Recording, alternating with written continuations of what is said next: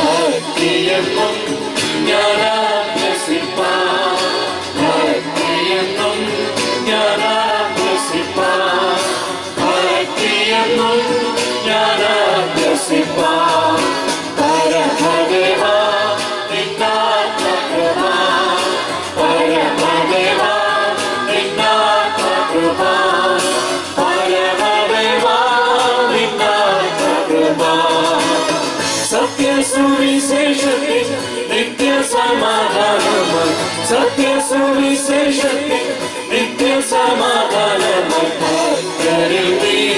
प्रत्या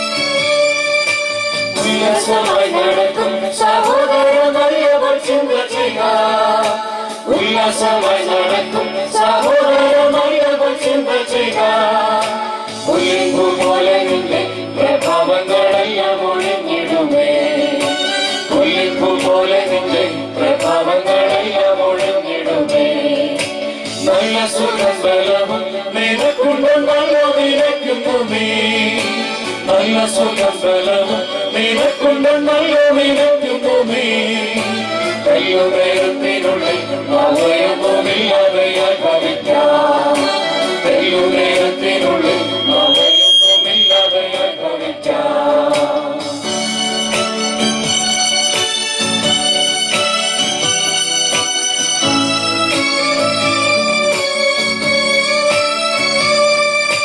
மலன் மர ജീവിച്ചവരെല്ലാം ഇപ്പോൾ ഇവിടെ. മല്ലന്മാരായ ഉലകിൽ ജീവിച്ചവരെല്ലാം ഇപ്പോൾ ഇവിടെ. നല്ല പോയി ചിന്തിക്കണേ അവശവ കല്ലറയിലല്ലയോ. നല്ല പോയി ചിന്തിക്കണേ അവശവ കല്ലറയിലല്ലയോ. എല്ലാ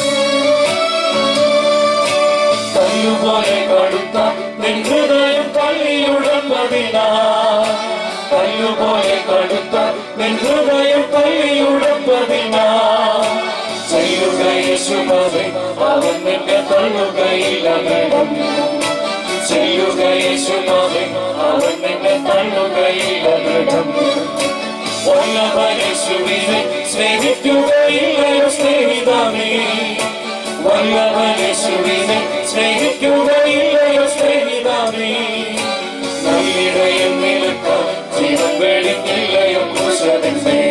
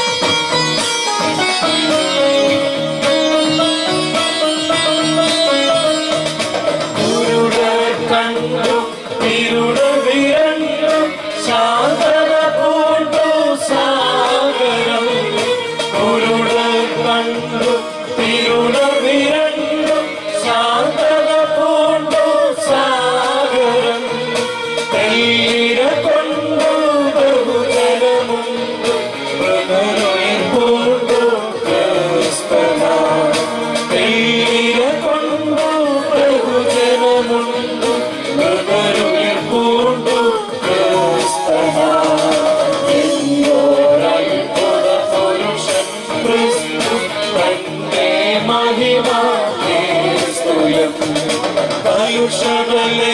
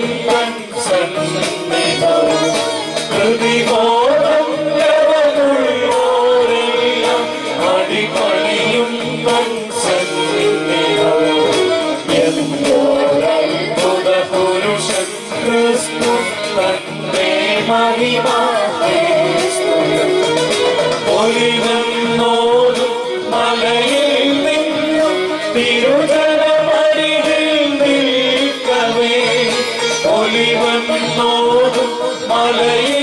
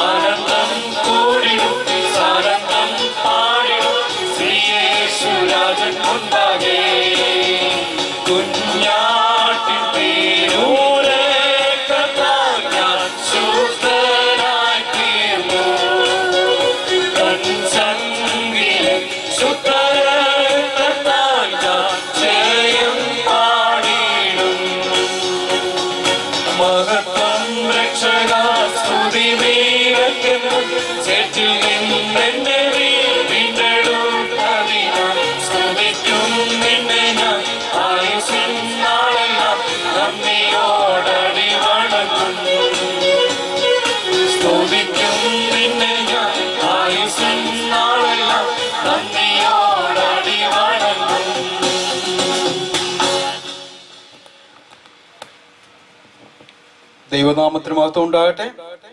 ഇവിടെ ക്രമീകരിക്കപ്പെട്ട സുവിശേഷ യോഗങ്ങളുടെ രണ്ടാം ദിനം സന്ധ്യാസമയത്തും നമുക്ക് ഈ നിലയിൽ ദൈവസ്ഥാനിൽ അടുത്തു വരുവാനും ഈ യോഗം ഈ നിലയിൽ ആരംഭിക്കുവാനും തക്കവണ്ണം വലിയവനായ ദൈവം കൃപ ചെയ്ത് ഓർത്ത് ദൈവത്തെ സ്തുതിക്കുകയും മഹത്വപ്പെടുത്തുകയും ചെയ്യുന്നു. കഴിഞ്ഞ സന്ധ്യാസമയത്ത് ഈ പന്തലിനുള്ളിൽ നിന്നും അനുഗ്രഹിക്കപ്പെട്ട നിലയിൽ ദൈവദിന ശുശ്രൂഷ നടക്കുകയുണ്ടായി വലിയവനായ ദൈവം എല്ലാ സാഹചര്യങ്ങളും കഴിഞ്ഞ ദിവസം നമുക്ക് അനുകൂലമാക്കി തന്ന് നമ്മെ അനുഗ്രഹിച്ചു. അതോർത്തും ദൈവത്തെ സ്തുതിക്കുന്നു. ഇന്ന് സന്ധ്യാസമയത്തും വലിയവനായ ദൈവം നമുക്ക് എല്ലാ സാഹചര്യങ്ങളും അനുകൂലമാക്കി തന്നിരിക്കുകയാണ് ദൈവത്തിന് കേൾവിക്കായിട്ട്. ഇന്ന് രാത്രിയിൽ പ്രിയ സഹോദരൻ ചാണ്ടപ്പുഴ ഫിലിപ്പ് നമ്മുടെ മധ്യത്തിൽ ദൈവവചന സന്ദേശത്തിനായിട്ട് കടന്നു വന്നിട്ടുണ്ട്. അതുപോലെ തന്നെ പ്രിയ സഹോദരന്മാർക്ക് ഗാന ശുശ്രൂഷ ചെയ്യുവാൻ തക്കവണ്ണം വലിയവനായ ദൈവം ഇടയാക്കി. ഈ ആത്മീയ ശുശ്രൂഷയിലേക്ക് കടന്നു വന്ന എല്ലാവർക്കും കർത്താവായ യേശു ക്രിസ്തുവിന്റെ നിസ്തുല നാമത്തിൽ സ്നേഹവന്ദനങ്ങളെ അറിയിച്ചുകൊള്ളുന്നു. അതുപോലെ ഈ ശബ്ദപുരുതിക്കുള്ളിൽ ഞങ്ങളെ കേൾക്കുന്ന എല്ലാവർക്കും കർത്താവായ യേശു ക്രിസ്തുവിന്റെ നിസ്തുല നാമത്തിൽ സ്നേഹവന്ദനങ്ങൾ അറിയിക്കുകയും ഈ പന്തലിനുള്ളിലേക്ക് സ്നേഹപൂർവം സ്വാഗതം ചെയ്യുകയും ചെയ്യുന്നു. ഇന്നത്തെ വചന ശുശ്രൂഷയ്ക്ക് മുൻപായിട്ട് നാളത്തെ യോഗ വിവരങ്ങൾ കൂടി അറിയിക്കുവാൻ ആഗ്രഹിക്കുന്നു. ഇന്ന് പ്രഭാതത്തിൽ ഈ പന്തലിനുള്ളിൽ നിന്നും ആറു മണിക്ക് പ്രഭാത സന്ദേശം ഉണ്ടായിരുന്നു. നാളെ പ്രഭാതത്തിലും ആറു മണിക്ക് തന്നെ പ്രഭാത സന്ദേശം ഈ പന്തലിനുള്ളിൽ നിന്ന് ഉണ്ടായിരിക്കുന്നതാണ്. അതിനുശേഷം ഒൻപത് ഒൻപതര മണി മുതൽ ഒരു മണി വരെ സഹോദരിമാരുടെ പ്രത്യാൽ യോഗം ഈ പന്തലിനുള്ളിൽ വെച്ച് നടക്കുന്നതായിരിക്കും. പ്രിയ സഹോദരൻ ചാണ്ടപ്പിള്ള വിലുപ്പ് അതിൽ വന ശുശ്രൂഷ ചെയ്യുന്നതായിരിക്കും. രാത്രി യോഗം കൃത്യം ആറു മണിക്ക് തന്നെ ഗാന ശുശ്രൂഷയോടുകൂടി ആരംഭിക്കുന്നതായിരിക്കും. നാളെ സഹോദരൻ വർഗീസ് കുര്യൻ നമ്മുടെ ദൈവത്തിൽ സംസാരിക്കുന്നതായിരിക്കും. നമുക്ക് പ്രാർത്ഥനയോടുകൂടി ദൈവസന്നിധിയിലായിരിക്കാം.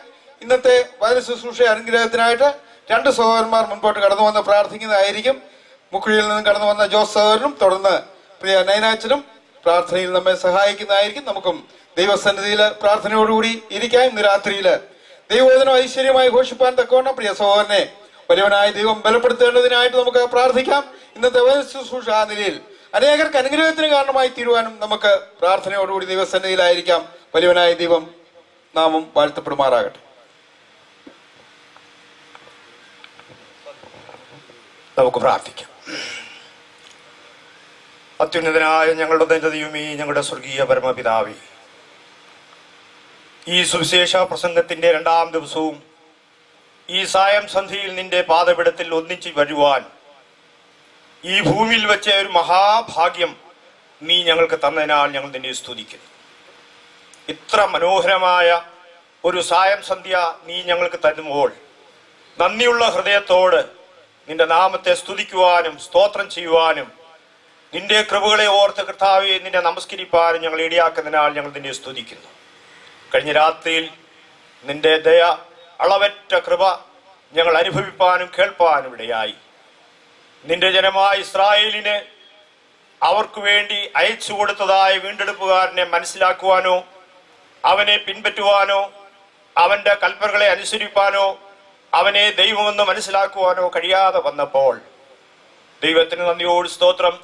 ഞങ്ങളെ തിരുമേനി തിരഞ്ഞെടുത്ത വൻകൃപകളെ ഓർത്ത് നിന്നെ സ്തുതിപ്പാൻ ഞങ്ങളെ അനുവദിച്ചതിനാൽ ഞങ്ങൾ നിന്നെ സ്തുതിക്കുന്നു. അവർക്കോ ജീവനുള്ള ദൈവത്തെ കൈക്കൊള്ളുവാൻ മനസ്സില്ലായി ദൈവത്തിന് സ്തോത്രം. എന്നാൽ ജീവനുള്ള ദൈവത്തെ കൈക്കൊള്ളുവാനും അവന്റെ മക്കളെന്ന പദവിയിലേക്ക് ഉയരുവാനും അവനെ സ്തുതിപ്പാനും അവനെ ആരാധിപ്പാനും അബ്രഹാമിനോടെയും ഇസാഖിനോടെയും യാക്കോബിനോടെയും അവനേക്കാൾ ഉപരിയായുള്ള വലിയൊരു പദവി ഞങ്ങൾക്ക് തന്നതിനാൽ ഞങ്ങൾ നിന്നെ സ്തുതിക്കുന്നു ഇപ്പോൾ പിതാവേ നിന്റെ പാതപിടത്തിൽ ഞങ്ങൾ കടന്നു വന്നിരിക്കുന്നു. നല്ല പാട്ടുകൾ പാടി നിന്നെ സ്തുതി പാട്ടക്കണം പ്രിയ മക്കളെ അതിനായി ഒരുക്കിയതിനാൽ ഞങ്ങൾ നിന്നെ സ്തുതിക്കുന്നു. അതേ സ്തുതികളിന്മേൽ വസിക്കുന്ന ദൈവം. ഹലേ കുഞ്ഞുങ്ങളുടെ പാട്ടുകൾ കേട്ട് സ്വർഗത്തിലെ ദൂതന്മാർ കുനിഞ്ഞു നോക്കി എന്ന് ഞങ്ങൾ നന്നായി അറിയുന്നു. നിന്നെ പാട്ടുകളിൽ കൂടെ സ്തുതിപ്പാൻ തന്ന കൃപകൾക്കായി സ്തോത്രം. ഇപ്പോൾ പിതാവേ നിന്റെ വചനം ഞങ്ങൾ ശ്രദ്ധിക്കുവാൻ തുടങ്ങുകയാണ്. പ്രിയദാസിനെ അങ്ങയുടെ കരങ്ങളിൽ വഹിച്ച് എല്ലാവിധമായ അനുഗ്രഹങ്ങളാൽ നിറയ്ക്കുമാറാകാൻ പ്രാർത്ഥിക്കുന്നു. ദാസനായ പൗലോസ് പറഞ്ഞതുപോലെ വചനം സംസാരിപ്പാൻ ഞാൻ നാവ് തുറക്കുമ്പോൾ ഹലേലുയ്യ ആ വലിയ മർമ്മങ്ങൾ നിന്റെ ദാസൻ പറഞ്ഞ അതേ വാക്ക് അടിയങ്ങൾ ഉപയോഗിക്കട്ടെ കർത്താവേ. സ്വർഗീയമായ മർമ്മങ്ങൾ നിന്റെ ദാസിൽ കൂടെ അടിയങ്ങൾക്ക് മനസ്സിലാകും വിധത്തിൽ ആ ഭാഷയിൽ തന്നെ മനസ്സിലാക്കുവാൻ മനസ്സിന്റെ ഹൃദയങ്ങളിൽ അത് പകരുവാൻ തക്കണം ഇടയാക്കിക്കാട്ട് ദൈവത്തിന് സ്തോത്രം. അത് അത്യുന്നതനായ ദൈവത്തിന്റെ ശബ്ദമാണെന്ന് മനസ്സിലാക്കി ഗ്രഹിപ്പാനുള്ള ഭാഗ്യം കർത്താവെ എല്ലാവർക്കും കൊടുക്കണമേ പ്രാർത്ഥിക്കുന്നു. അത് കാതേശ് മരുഭൂമിയെ നടുക്കുന്ന ശബ്ദമാണ് അത് വനങ്ങളെ തോലുരിക്കുന്ന ശബ്ദമാണ് ഹലേറിയ അത് പാറുകളെ പിളർക്കുന്ന ശബ്ദമാണ്. ഇന്നും അങ്ങനെ നടന്നെങ്കിൽ കൊള്ളായിരുന്നു. അങ്ങനെ ആയിരിക്കാൻ കർത്താവ് ഇടയാക്കുമാറാകാൻ പ്രാർത്ഥിക്കുന്നു. പ്രിയദാസനോടുകൂടെ ഇരിക്കണമേ. ചില ഹൃദയങ്ങളെ കർത്താവെ ലുതിയുടെ ഹൃദയം തുറന്നതുപോലെ ഇന്ന് ഈ സായം സന്ധ്യയിൽ തുറന്നെങ്കിൽ കൊണ്ടായിരുന്നു. അയ്യോ സഹോദരന്മാരായ പുരുഷന്മാരെ രക്ഷപ്രാപിപ്പാൻ ഞങ്ങൾ എന്തു ചെയ്യേണ്ടു എന്ന് ചോദിച്ചുകൊണ്ട് ചിലരെങ്കിലും കടന്നു വരുവാൻ കർത്താവെ അങ്ങ് അനുവദിക്കുമാറാകാൻ പ്രാർത്ഥിക്കുന്നു. എല്ലാ നന്മകളാൽ നിറച്ചാട്ടെ എല്ലാ ക്രമീകരണങ്ങളും അങ്ങയുടെ മകൻ അൻപിൽ കർത്താവെ നന്നായി ചന്തമായി ഉചിതമായി ഇരിപ്പാൻ ഇടയാക്കണം. മാത്രമല്ല എല്ലാം അങ്ങയുടെ നാമ മഹത്വത്തിനായി മാത്രം തിരുവാനിടയാക്കണം ഞങ്ങൾക്കല്ല യഹോവയെ ഞങ്ങൾക്കല്ല നിനക്കും നിന്റെ നാമ മഹത്വത്തിനായി എല്ലാം തീരുവാൻ ഇടയാക്കിക്കാട്ടെ ആദ്യോടന്തം അങ്ങയുടെ കർത്താവെ ദൂതന്മാരുടെ കാവലും കോട്ടയും തന്നിരിക്കാൻ സ്തോത്രം. ഞങ്ങൾക്കായി ജീവൻ തന്നവനായി ഞങ്ങളുടെ കർത്താവായ യേശു ക്രിസ്തുവിന്റെ വേറെ നാമത്തിൽ അപേക്ഷിച്ചിരിക്കുന്നു. പിതാവേ കേട്ടെ ഉത്തരമല്ലുമാറാകണമേ മഹാദേവമേ പരിശുദ്ധ പിതാവേ ഞങ്ങൾ അവിടുത്തെ വാഴ്ത്തുന്നു. ഞങ്ങൾ അവിടുത്തെ വണങ്ങുന്നു. ഞങ്ങൾ അവിടുത്തെ സ്തുതിക്കുന്നു. അടിയങ്ങളുടെ ഓർമ്മ ശരിയാണെങ്കിൽ കർത്താവെ ഇത് മുപ്പത്തിയേഴാമത്തെ വർഷമാണ് കൺവെൻഷന്റെ. കഴിഞ്ഞ അനേക വർഷങ്ങൾ നിത്യമായ സുവിശേഷം ഈ സ്ഥലത്ത് നിന്ന് വിളിച്ചറിയിക്കുവാൻ തക്കവണ്ണം അവിടുത്തെ ജനത്തെ അവിടുന്ന് ഉപയോഗപ്പെടുത്തി തിരുനാമത്തിന് സ്തോത്രം. ഞങ്ങളുടെ പിതാക്കന്മാർ അനേകര് ഈ സ്ഥാനത്ത് നിന്നുകൊണ്ട് സ്വർഗത്തിൽ എന്നേക്കും സ്ഥിരമായിരിക്കുന്ന മാറ്റമില്ലാത്ത വചനം ഇവിടെ നിന്ന് വിളിച്ചറിയിക്കുവാൻ തക്കവണ്ണം അവിടുന്ന് കൃപ കാണിച്ചു. അതിനായി സ്തോത്രം. പിതാക്കന്മാരൊക്കെ ഇന്ന് നിത്യതയിൽ വിശ്രമിക്കുകയാണ്. അവരുടെ കാൽച്ചുവടുകളെ പിന്തുടർന്നുകൊണ്ട് ഇളയ തലമുറകളായിരിക്കുന്ന നിന്റെ മക്കൾക്ക് പിന്നെയും ഈ സ്ഥലത്ത് കടന്നു വന്നു നിന്നുകൊണ്ട് അവിടുത്തെ വചനം അറിയിക്കുവാൻ നിരദാസന്മാരെ ദാസന്മാരെ ബലപ്പെടുത്തുന്നുകൊണ്ട് തിരുനാമത്തിന് സ്തോത്രം. ഈ സ്ഥലസഭയ്ക്കായി സ്തോത്രം. തുടങ്ങി വെച്ച പിതാക്കന്മാർ മാതാക്കളൊക്കെ നിത്യതയിൽ വിശ്രമിക്കുകയാണ്. എന്നാൽ ഇളയ തലമുറകളായിരിക്കുന്ന പ്രിയപ്പെട്ടവർക്ക് വീണ്ടും ഈ രണ്ടായിരത്തി പന്ത്രണ്ടിന്റെ ആദ്യ സമയം തന്നെ ഇത് തുടർന്ന് നടത്തുവാൻ അവിടുന്ന് കൃപ കൊടുത്തതിനായി ഞങ്ങൾ തിരുനാമത്തെ സ്തുതിക്കുന്നു.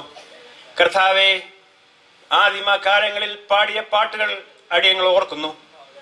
അതിനുശേഷം അടിയങ്ങളുടെയൊക്കെ കാലങ്ങൾ കർത്താവെ അടിയങ്ങളെ ക്ഷീണരും പ്രയാസമുള്ളവരുമായി തീർന്നപ്പോൾ ഞങ്ങളുടെ കുഞ്ഞുങ്ങളെ അവിടെ എഴുന്നേൽപ്പിച്ചതിനായി തിരുനാമത്തിന് സ്തോത്രം.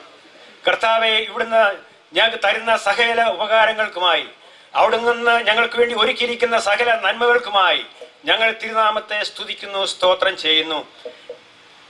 ആദിമ നൂറ്റാണ്ട് മുതൽ അവിടുത്തെ വചനം അവിടുത്തെ അരുളപ്പാടുകൾ അവിടുത്തെ ദാസന്മാരിൽ കൂടെ ഈ ലോകത്തോട് അറിയിച്ചു. ഇന്നും അവിടുത്തെ ദാസന്മാരെ അവിടുന്ന് ഒരുക്കിയിരിക്കുന്നല്ലോ അതിനായി സ്തോത്രം. ഈ രണ്ടായിരത്തി പന്ത്രണ്ടിന്റെ ഈ ആദ്യ സമയത്തും നിന്റെ ദാസനിൽ കൂടെ ദൈവസ്നേഹത്തിന്റെ മഹത്വവും ആഴവും വീതി ഉയരവും കഴിഞ്ഞ ദിവസവും വിളിച്ചറിയിക്കുവാൻ തക്കവണ്ണം നിന്റെ ദാസനെ അവിടുന്ന് ബലപ്പെടുത്തി അതിനായി സ്തോത്രം. ഇന്നും അതിന്റെ അടിസ്ഥാനത്തിൽ അവിടുത്തെ വചനം കേൾപ്പാനായിട്ട് അടിയങ്ങൾ ഒരുക്കമുള്ളവരായി കടന്നു വന്നിരിക്കുകയാണ്. കർത്താവെ അവിടുത്തെ വചനം ആഴമേറിയതാണ്. അതിന് ദാസന് കൊടുത്തവിടുന്ന് കൊണ്ടുവന്നിരിക്കാൻ ഞങ്ങൾ തിരുനാമത്തെ സ്തുതിക്കുന്നു. കേൾക്കുന്ന അടിയങ്ങൾ അത് കേട്ട് മറന്നു പോകുന്നവരായി തീരുവാനല്ല. അത് ഏറ്റവും അനുഗ്രഹമായി തന്നെ തീരുവാൻ സ്വർഗത്തിലെ ദൈവമേ അവിടുന്ന് പ്രസാദിക്കണമേ. ഈ മണാരക്കുളഞ്ഞി പ്രദേശത്തെ ഞങ്ങൾ ഓർത്ത് പ്രാർത്ഥിക്കുന്നു. അനേക വർഷങ്ങളായിട്ട് ഈ നിത്യമായ സുവിശേഷം ഇവിടെ വിളിച്ചറിയിച്ചുകൊണ്ടിരിക്കുകയാണ്. അനേകരെ കേട്ടിരിക്കുന്നു. അനേകരെ നിത്യതയ്ക്ക് അവകാശികളായി തീർന്നു. അനേകർ പിന്നെയും നിത്യനാശത്തിലേക്ക് പോയിക്കൊണ്ടിരിക്കുന്നു. എന്നാൽ ഈ നിത്യ വചനം ഇവിടെ അവസാനിക്കുന്ന ഒരു ദിവസമുണ്ട്. ഇന്നും അത് വിളിച്ചറിയിക്കുവാൻ തക്കവണ്ണം ജനത്തെ ഒരുക്കുന്നതിനായി സ്തോത്രം. കേട്ടില്ല എന്ന് പറയുവാൻ അസാധ്യം സാധ്യമല്ല. ഈ നിത്യമായ വചനത്തിനായി സ്തോത്രം. ഇത് സ്വർഗത്തിൽ എന്നേക്ക് സ്ഥിരമായിരിക്കുന്നതായിരിക്കുന്നതുകൊണ്ട് തിരുനാമത്തിന് സ്തോത്രം. ഇന്നും നിലദാസനെ ദാസനെ ഇവിടെ കൊണ്ടുവന്നതിനായി സ്തോത്രം. കഴിഞ്ഞ ദിവസം കേൾപ്പിച്ച വചനത്തിനായി ഞങ്ങൾ തിരുനാമത്തെ സ്തുതിക്കുന്നു. ഇന്നും വചനത്തെ നൽകി നിന്റെ ദാസനെ കൊണ്ടുവന്നിരിക്കുന്നതുകൊണ്ട് ഞങ്ങൾ തിരുനാമത്തെ സ്തുതിക്കുന്നു. കടന്നു വന്നിരിക്കുന്ന ഞങ്ങൾ അത് കേട്ട് സന്തോഷം ലഭിക്കാനോട് സഹായിക്കണമേ. ഈ മണ്ണാർക്കുളം പ്രദേശത്തെ ഈ മൈക്കിന്റെ ശബ്ദഭൃതിയിലായിരിക്കുന്ന സകല വംശങ്ങളെയും സകല കുടുംബങ്ങളെയും സകല നാടിനെയും ഞങ്ങൾ ഓർത്ത് പ്രാർത്ഥിക്കുന്നു. അവിടുന്ന് മാറ്റമില്ലാത്ത വചനമാണ്. സ്വർഗത്തിൽ എന്നേക്ക് സ്ഥിരമായിരിക്കുന്ന വചനമാണ്. അത് ഞങ്ങൾ അറിയുവാൻ തക്കണം ഇടയാക്കിയിരിക്കുന്നുണ്ട് സ്തോത്രം. പല സ്ഥലങ്ങളിലും പല രാജ്യങ്ങളിലും പല ഭവനങ്ങളിലുമായിരുന്ന അനേക പ്രിയപ്പെട്ടവർ കടന്നു വരുവാൻ കൃപ തന്നതിനായി സ്തോത്രം. ഗൾഫിന്റെ പ്രദേശത്ത് നിന്ന് കർത്താവെ ചുറ്റുപാടുകളിൽ നിന്ന് ചാരത്തു നിന്നും ദൂരത്തു നിന്നും ഒക്കെ ആയിട്ട് അനേക പ്രിയപ്പെട്ടവർ കടന്നു വന്നിട്ടുണ്ട്. അവരെയൊക്കെ അവിടുന്ന് അനുഗ്രഹിക്കുകയും സഹായിക്കുകയും ചെയ്യണമേ. ഈ മൈക്കിന്റെ പരിധിയിൽ കേൾക്കുന്ന തിരുവചനം ആ കേൾക്കുന്ന പ്രിയപ്പെട്ടവർക്ക് ഏറ്റവും അനുഗ്രഹമായി തീരുവാൻ ഇന്ന് രാത്രി അവിടുന്ന് സഹായിക്കണമെന്ന് പ്രാർത്ഥിക്കുന്നു. ആത്മാവിന്റെ നിറ- നിറവിൽ ദാസൻ സംസാരിപ്പാൻ അവിടുന്ന് കഴിഞ്ഞ ദിവസം കൃപ കൊടുത്തു. ഇന്നും അവിടുന്ന് കൃപ കൊടുത്തുകൊണ്ടിരിക്കുന്നതുകൊണ്ട് തിരുനാമത്തിന് സ്തോത്രം. ഈ ദൈവം ഇന്നും എന്നേക്കും ഞങ്ങളുടെ ദൈവമായി നിന്നും വഴി നടത്ത കർത്താവായിട്ടുള്ളതുകൊണ്ട് തിരുനാമത്തിന്റെ സ്തോത്രം. ഈ നാടിനെ അനേക വർഷങ്ങളായിട്ട് വചനം കേൾപ്പാൻ അവർക്ക് ഭാഗ്യം കൊടുത്തിരിക്കൊണ്ടിരിക്കുന്നതുകൊണ്ട് തിരുനാമത്തിന്റെ സ്തോത്രം. ഈ പന്തലിനെ അവിടുന്ന് നിയന്ത്രിച്ചിരിക്കാൻ സ്തോത്രം. ഈ ലൈറ്റിനെയും മൈക്കിനെയും അവിടെ നിയന്ത്രിച്ചിരിക്കാൻ സ്തോത്രം. കർത്താവ് ഭജന ദാസിന് കൊടുത്തിരിക്കാൻ സ്തോത്രം. പാടുവാൻ എന്റെ കുഞ്ഞുങ്ങൾ കൃപ കൊടുത്തതിനായി സ്തോത്രം. അല്പസമയം ഞങ്ങൾ അവിടുത്തെ സന്നിധിയിലായിരിക്കട്ടെ കടന്നു വന്ന കുഞ്ഞുങ്ങളും പ്രായമുള്ളവരും യുവാക്കന്മാർ യുവതികൾ ചുറ്റുപാട് ഭവനത്തിലായിരിക്കുന്ന പ്രിയപ്പെട്ടവർ ഈ മൈക്കിന്റെ ശബ്ദപരിധിയിലായിരിക്കുന്ന എല്ലാ പ്രിയപ്പെട്ടവരെയും അവിടുന്ന് അനുഗ്രഹിക്കുകയും സഹായിക്കുകയും ചെയ്യണമേ. ഈ വചനം കേട്ടുന്ന ചില വ്യക്തികൾ കർത്താവിലേക്ക് അനയിക്കപ്പെടുവാൻ അവിടുന്ന് സഹായിക്കണം. മഹത്വമെല്ലാം എടുക്കണമേ. കർത്താവായ യേശു ക്രിസ്തുവിന്റെ വിലയേറിയ നാമത്തിൽ അടിയങ്ങളുടെ പ്രാർത്ഥന കേൾക്കുമാറാകണമേ. ആമീൻ. ഇവിടെ നടക്കുന്ന ഈ ആത്മീയ ശുശ്രൂഷകൾ ലോകമെങ്ങുമുള്ള ദൈവമക്കൾക്കും മറ്റുള്ളവർക്കും കാണുവാൻ തക്കവണ്ണം അതിന് സാഹചര്യം ഒരുക്കിയിട്ടുണ്ട്. അതിന്റെ address W W dot brethren news dot com എന്ന സൈറ്റിലാണ് ഇത് കാണപ്പെടുന്നത്. ലോകമെങ്ങുള്ള ദൈവമക്കൾ ഇത് കാണുകയും നമ്മളെ വിളിച്ച് വിവരം അറിയിക്കുകയും ചെയ്തിട്ടുണ്ട്. ഇനിയും അതിൽ ആരെങ്കിലും അറിയാനുണ്ടെങ്കിൽ അവരോടുകൂടി ഈ വിവരം അറിയിക്കണമെന്ന് പ്രത്യാൽ ഓർപ്പിച്ചുകൊള്ളു. ദൈവനാമത്തിന് നന്ദിയുള്ള ഹൃദയത്തോടുകൂടെ സ്തോത്രം ചെയ്യുന്നു. ഈ രണ്ടാം രാത്രിയിലും ദൈവ വചനത്തിലൂടെ നിങ്ങളെ അഭിസംബോധന ചെയ്യുവാൻ. ഒരവസരം ഈ വിധത്തിൽ ലഭിച്ചതോർത്ത് ദൈവത്തിന് മഹത്വം കരയേറ്റുന്നു. ഈ രാത്രിയിൽ ദൈവവചന കേൾവിക്കായി കടന്നു വന്നിരിക്കുന്ന എല്ലാ സഹോദരി സഹോദരന്മാർക്കും യേശുക്രിസ്തുവിന്റെ വിലയേറിയ നാമത്തിൽ സ്നേഹവന്ദനവും. ഞാൻ അറിയിക്കുകയാണ്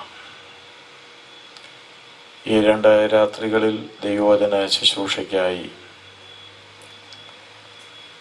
എന്നെ ഈ സ്ഥലത്ത് ക്ഷണിച്ച ഇവിടെയുള്ള ദൈവസഭയോട് ഹൃദയം നിറഞ്ഞ നന്ദിയും സ്നേഹവും വിശേഷാൽ അറിയിക്കുന്നു. കർത്താവിന്റെ സന്നിധിയിൽ അല്പസമയം നമുക്ക് പ്രാർത്ഥനയോടുകൂടി ഇരിക്കാം. കഴിഞ്ഞ രാത്രിയിൽ ആവശ്യമായ സന്ദേശം കേൾപ്പിച്ച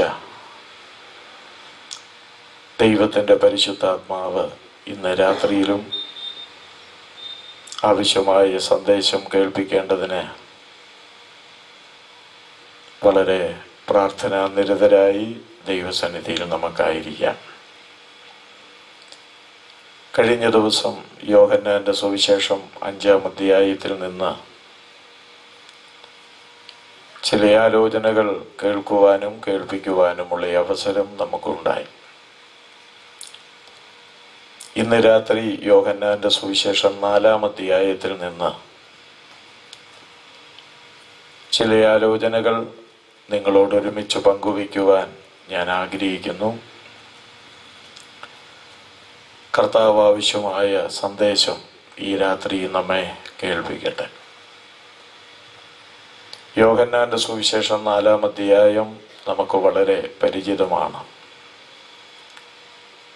കർത്താവായ യേശു ക്രിസ്തുവും ശമരിയ സ്ത്രീയും തമ്മിലുള്ള സംഭാഷണവും ആ സംഭാഷണത്തിന്റെ ഒടുവിൽ യേശുവിനെ മശീഹയായി ശമരിയാക്കാരുതി കണ്ടെത്തുകയും യേശുക്രിസ്തുവിന്റെ സാക്ഷ്യം അവൾ നടത്തുകയും ചെയ്യുന്നത് നാലാം അധ്യായത്തിലെ ഒരു പ്രധാനപ്പെട്ട വിഷയമാണ്. നമ്മുടെ കർത്താവായ യേശുക്രിസ്തു യഹൂദിയയിൽ നിന്ന് ഗലീലയിലേക്കുള്ള യാത്രയിൽ ശമരിയിൽ കൂടി കടക്കേണ്ടി വന്നു എന്നാണ് നാം വായിക്കുന്നത്. അങ്ങനെ ശബരിയിൽ കൂടി കടക്കേണ്ടി വന്നപ്പോൾ ആ യാത്രയിലാണ് ശബരിയിലെത്തി യാക്കോബ് തന്റെ മകനായ യോസേഫിന് കൊടുത്ത നിലത്തിനരികെയുള്ള അല്ലെങ്കിൽ ആ നിലത്തിലുള്ള യാക്കോബ് കൊടുത്ത കിണറിന്റെ അരികത്ത് ക്ഷീണിതനായിട്ട് വന്നിരിക്കുകയും വെള്ളം കോരാൻ വന്ന ശമരിയാക്കാരുത്തിയുമായി നമ്മുടെ കർത്താവായി യേശു ജീവജലത്തെ സംബന്ധിച്ചുള്ള ആ വലിയ യാഥാർത്ഥ്യം പങ്കുവെക്കുകയും ചെയ്യുന്നത്. യോഗന്നാന്റെ സുവിശേഷം മൂന്നാമധ്യായവും നാലാമധ്യായവും. രണ്ട് വ്യക്തികളുമായിട്ടുള്ള സംഭാഷണം രേഖപ്പെടുത്തിയിരിക്കുന്ന അധ്യായങ്ങളാണ്. മൂന്നാം അധ്യായത്തിൽ നാം മനസ്സിലാക്കുന്നത് പോലെ നിക്കോദിമോസ് എന്ന് പറയുന്ന യഹൂദ മതത്തിന്റെ പ്രമാണിയും ന്യായശാസ്ത്രീയുമായ ആ വ്യക്തിയുമായിട്ടുള്ള സംഭാഷണം മൂന്നാം അധ്യായത്തിൽ രേഖപ്പെടുത്തുമ്പോൾ നാലാം അധ്യായത്തിൽ ശമരിയക്കാരുത്തിയുമായിട്ടുള്ള സംഭാഷണമാണ്. ശമരിയക്കാരുത്തിയുമായിട്ടുള്ള ഈ സംഭാഷണത്തിൽ നമ്മുടെ കർത്താവായ യേശു അവളെ പഠിപ്പിക്കുന്ന ശമരിയക്കാരുത്തിയെ പ്രത്യേകമായി പഠിപ്പിക്കുന്ന അനുഗ്രഹീതമായ നാല് പാഠങ്ങൾ ഈ നാലാം അധ്യായത്തിന്റെ പ്രാരംഭ ഭാഗത്ത് നമുക്ക് കാണാം. ഇന്ന് രാത്രിയിൽ ലഭിച്ചിരിക്കുന്ന സമയ പരിധിക്കുള്ളിൽ നിന്നുകൊണ്ട് യേശുക്രിസ്തു ശമരിയക്കാരുത്തിയെ പഠിപ്പിച്ച അനുഗ്രഹീതമായ നാല് ആത്മീക പാഠങ്ങൾ ഈ രാത്രിയിലെ ചിന്തയ്ക്കായിട്ട് ഞാൻ നൽകുകയാണ്. ഒന്നാമത് അവളുടെ അവൾ കർത്താവിനോട് പറയുന്നത് നാം അതിന്റെ പതിനൊന്നാമത്തെ വാക്യം ഒന്ന് വായിക്കാം. യോഗന്നാന്റെ സുവിശേഷം നാലാമധ്യായം പതിനൊന്നാമത്തെ വാക്യം. സ്ത്രീ അവനോട് യജമാനിനെ നിനക്ക് കോരുവാൻ പാത്രം ഇല്ലല്ലോ. കിണറ് ആഴമുള്ളതാകുന്നു. പിന്നെ ജീവനുള്ള വെള്ളം നിനക്ക് എവിടെ നിന്ന്? കിണറ് ആഴമുള്ളതാകുന്നു. ഇപ്പോൾ ഈ പ്രസ്താവന പറയാൻ കാരണമുണ്ട്. യേശുക്രിസ്തു ഇവളോട് കുടിപ്പാൻ ചോദിക്കുമ്പോൾ യഹൂദനായിരിക്കുന്ന നീ ശമരിയക്കാരുത്തിയായി എന്നോട് കുടിപ്പാൻ ചോദിക്കുന്നത് എങ്ങനെ? എന്നവൾ തിരിച്ചു ചോദിക്കുകയാണ്. അവിടെ തന്നെ എഴുതിയിട്ടുണ്ട് യഹൂദന്മാരും ശമരിയക്കാരും തമ്മിൽ സമ്പർക്കമില്ലായിരുന്നു. അപ്പോൾ യേശുക്രിസ്തു അവൾക്ക് കൊടുക്കുന്ന മറുപടി നിന്നോട് ചോദിക്കുന്നവൻ ആരെന്ന് നീ അറിഞ്ഞിരുന്നെങ്കിൽ നീ അവനോട് ചോദിക്കുകയും അവൻ ജീവ ജലം നിനക്ക് നൽകുകയും ചെയ്യുമായിരുന്നു. അപ്പോഴാണ് അവൾ തിരിച്ചു ചോദിക്കുന്നത് യജമാനനെ നിന്റെ കയ്യിൽ കോരുവാൻ പാത്രമൊന്നുമില്ല. കിണർ ആഴമുള്ളതാണ്. അപ്പോൾ കിണറിന്റെ ആഴത്തിൽ അവൾ പ്രശംസിക്കുന്ന ഒരു പ്രയോഗമാണ് ഇവിടെ നടത്തുന്നത്. യേശുക്രിസ്തു അതിലൂടെ ഇവളെ പഠിപ്പിച്ച ഒന്നാമത്തെ പാഠം സ്ത്രീയെ കിണറിന്റെ ആഴത്തിൽ കാര്യമില്ല. ഇന്ന് രാത്രിയിൽ ഈ പന്തലിലും പുറത്തുമായിട്ടൊക്കെ ഈ വാക്കുകളെ ശ്രവിച്ചുകൊണ്ടിരിക്കുന്ന പ്രിയപ്പെട്ടവരെ ഈ കിണറിന്റെ ആഴത്തിൽ വളരെ പ്രശംസിക്കുന്നവരാണ്. അതായത് അവരവർ ഉൾപ്പെട്ടു നിൽക്കുന്ന മതങ്ങൾ അവരവർ ഉൾപ്പെട്ടു നിൽക്കുന്ന ക്രിസ്തീയ സമൂഹങ്ങൾ ഇതിന്റെ ആഴങ്ങളിൽ വളരെ പ്രശംസിച്ചുകൊണ്ട് പറയുന്ന നിരവധി ആൾക്കാർ നമ്മുടെ ചുറ്റുപാടുകളിലുണ്ട്. മറ്റുള്ള സമൂഹങ്ങളെയൊക്കെ വളരെ ചെറുതായിട്ടാണ് അവർ കാണുന്നത്. എന്നാൽ യേശുക്രിസ്തു പഠിപ്പിക്കുമ്പോൾ ഈ മതത്തിന്റെയോ ക്രിസ്തീയ സമൂഹങ്ങളുടെയോ ആഴങ്ങളിലല്ല കാര്യമിരിക്കുന്നത്. അപ്പൊ ഈ കിണറ് മതങ്ങളെയോ അല്ലെങ്കിൽ ക്രിസ്തീയ സമൂഹങ്ങളെയോ ഒക്കെ ആയിട്ട് നമുക്ക് ചിന്തിക്കാൻ കഴിയും. അങ്ങനെ ചിന്തിക്കുമ്പോൾ കിണറിന്റെ ആഴത്തിൽ കാര്യമില്ല എന്നുള്ളത് ക്രിസ്തു അവളെ പഠിപ്പിച്ചത്. ഇന്ന് മനുഷ്യൻ പ്രശംസിക്കുന്ന ഓരോരുത്തരുടെയും മതങ്ങൾ അതെത്ര ആഴമുള്ളതാണെങ്കിലും അതിൽ കാര്യമില്ലെന്നുള്ളതാണ് അതിനൊരു അഞ്ച് കാരണങ്ങൾ നമ്മുടെ കർത്താവായ യേശുവിന്റെ വാക്കുകളിലൂടെ തന്നെ നമുക്ക് മനസ്സിലാക്കാൻ കഴിയും. അതിൽ ഒന്നാമത്തേത് അതിന്റെ പതിമൂന്നും പതിനാലും വാക്യങ്ങളിൽ നാം വായിക്കുന്നുണ്ട് ഈ വെള്ളം കുടിക്കുന്നവന് പിന്നെയും ദാഹിക്കും. ഞാൻ കൊടുക്കുന്ന വെള്ളം കുടിക്കുന്നവന് ഒരു നാളും ദാഹിക്കുകയില്ല. അപ്പോൾ കിണറിന്റെ ആഴത്തിൽ കാര്യമില്ലാത്തതിന്റെ കാരണം കിണർ എത്ര ആഴമുള്ളതാണെങ്കിലും അതിലെ വെള്ളം കുടിക്കുന്നവന് പിന്നെയും ദാഹിക്കും. എന്നാൽ യേശുക്രിസ്തു അവിടുന്ന് ജീവജലത്തിന്റെ കിണറാണ്. ആ ജീവജലത്തിന്റെ കിണറിൽ നിന്ന് കുടിക്കുന്നവന് ഒരു നാടും ദാഹിക്കുകയില്ല. ഇതുപോലാണ് ഇന്നത്തെ മതത്തിന്റെ അവസ്ഥ. ക്രിസ്തുമതം ഉൾപ്പെടെയുള്ള എല്ലാ മതങ്ങളും ഞാൻ ഓർപ്പിച്ചതുപോലെ അതിന്റെ ആഴത്തിൽ വളരെ പ്രശംസിക്കുന്നു എന്ന് വരികിലും. ഈ മതങ്ങളൊക്കെ പറയുന്ന ഓരോരോ ആചാര അനുഷ്ഠാനങ്ങൾ കാലങ്ങളായിട്ട് അനുഷ്ഠിക്കുന്നവരാണെങ്കിൽ തന്നെയും അത് വീണ്ടും അന്തരാത്മാവിനെ ഇങ്ങനെ ദാഹിപ്പിച്ചുകൊണ്ടിരിക്കും. ഒരിക്കലും മതങ്ങൾക്ക് മനുഷ്യന്റെ അന്തരാത്മാവിന്റെ ദാഹത്തെ ശമിപ്പിക്കുവാനായിട്ട് കഴിയുകയില്ല. അങ്ങനെ മതങ്ങൾക്ക് മനുഷ്യന്റെ അന്തരാത്മാവിന്റെ ദാഹത്തെ ശമിപ്പിക്കുവാൻ കഴിയുമായിരുന്നെങ്കിൽ ഒരു പ്രവൃത്തി തന്നെ കൂടെ കൂടെ മനുഷ്യൻ ചെയ്യേണ്ട ആവശ്യമില്ലായിരുന്നു.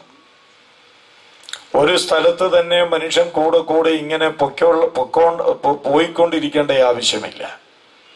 അപ്പോൾ ഒരു കാര്യം തന്നെ നിരന്തരമായി ചെയ്യുന്നതിന്റെ കാരണം എന്തെന്ന് ചോദിച്ചാൽ ഈ മതം പറയുന്ന ആചാര അനുഷ്ഠാനങ്ങൾ എത്ര വട്ടം ചെയ്തിട്ടും അത് മനുഷ്യന്റെ അന്തരാത്മാവിന്റെ ദാഹത്തെ ശമിപ്പിക്കുന്നില്ല എന്നുള്ളതാണ് അതിന്റെ അർത്ഥം.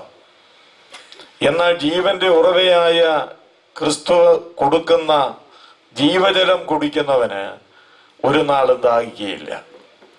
അതുകൊണ്ടാണ് യേശുക്രിസ്തു യോഹന്നാന്റെ സുവിശേഷം ഏഴാം അധ്യായം അതിന്റെ മുപ്പത്തിയേഴ് മുപ്പത്തെട്ട് വാക്യങ്ങൾ വായിക്കുമ്പോൾ ഇങ്ങനെ പറയുന്നുണ്ട്. ഉത്സവത്തിന്റെ മഹാദിനമായ ഉടുക്കത്തെ നാളിൽ യേശു നിന്നുകൊണ്ട് ദാഹിക്കുന്നവൻ എന്റെ അടുക്കൽ വരട്ടെ എന്ന്. അപ്പോൾ ജീവജലത്തിന്റെ കിണറായ ക്രിസ്തുവിന് മാത്രമേ മനുഷ്യവർഗത്തിന്റെ ദാഹത്തെ ശമിപ്പിക്കുവാൻ കഴിയുകയുള്ളൂ. എന്താണ് മനുഷ്യന്റെ ദാഹം? കഴിഞ്ഞ രാത്രി ഞാൻ ഓർപ്പിച്ചതുപോലെ ദൈവത്തെക്കുറിച്ചുള്ള ദാഹമാണ് മനുഷ്യന്റെ ദാഹം.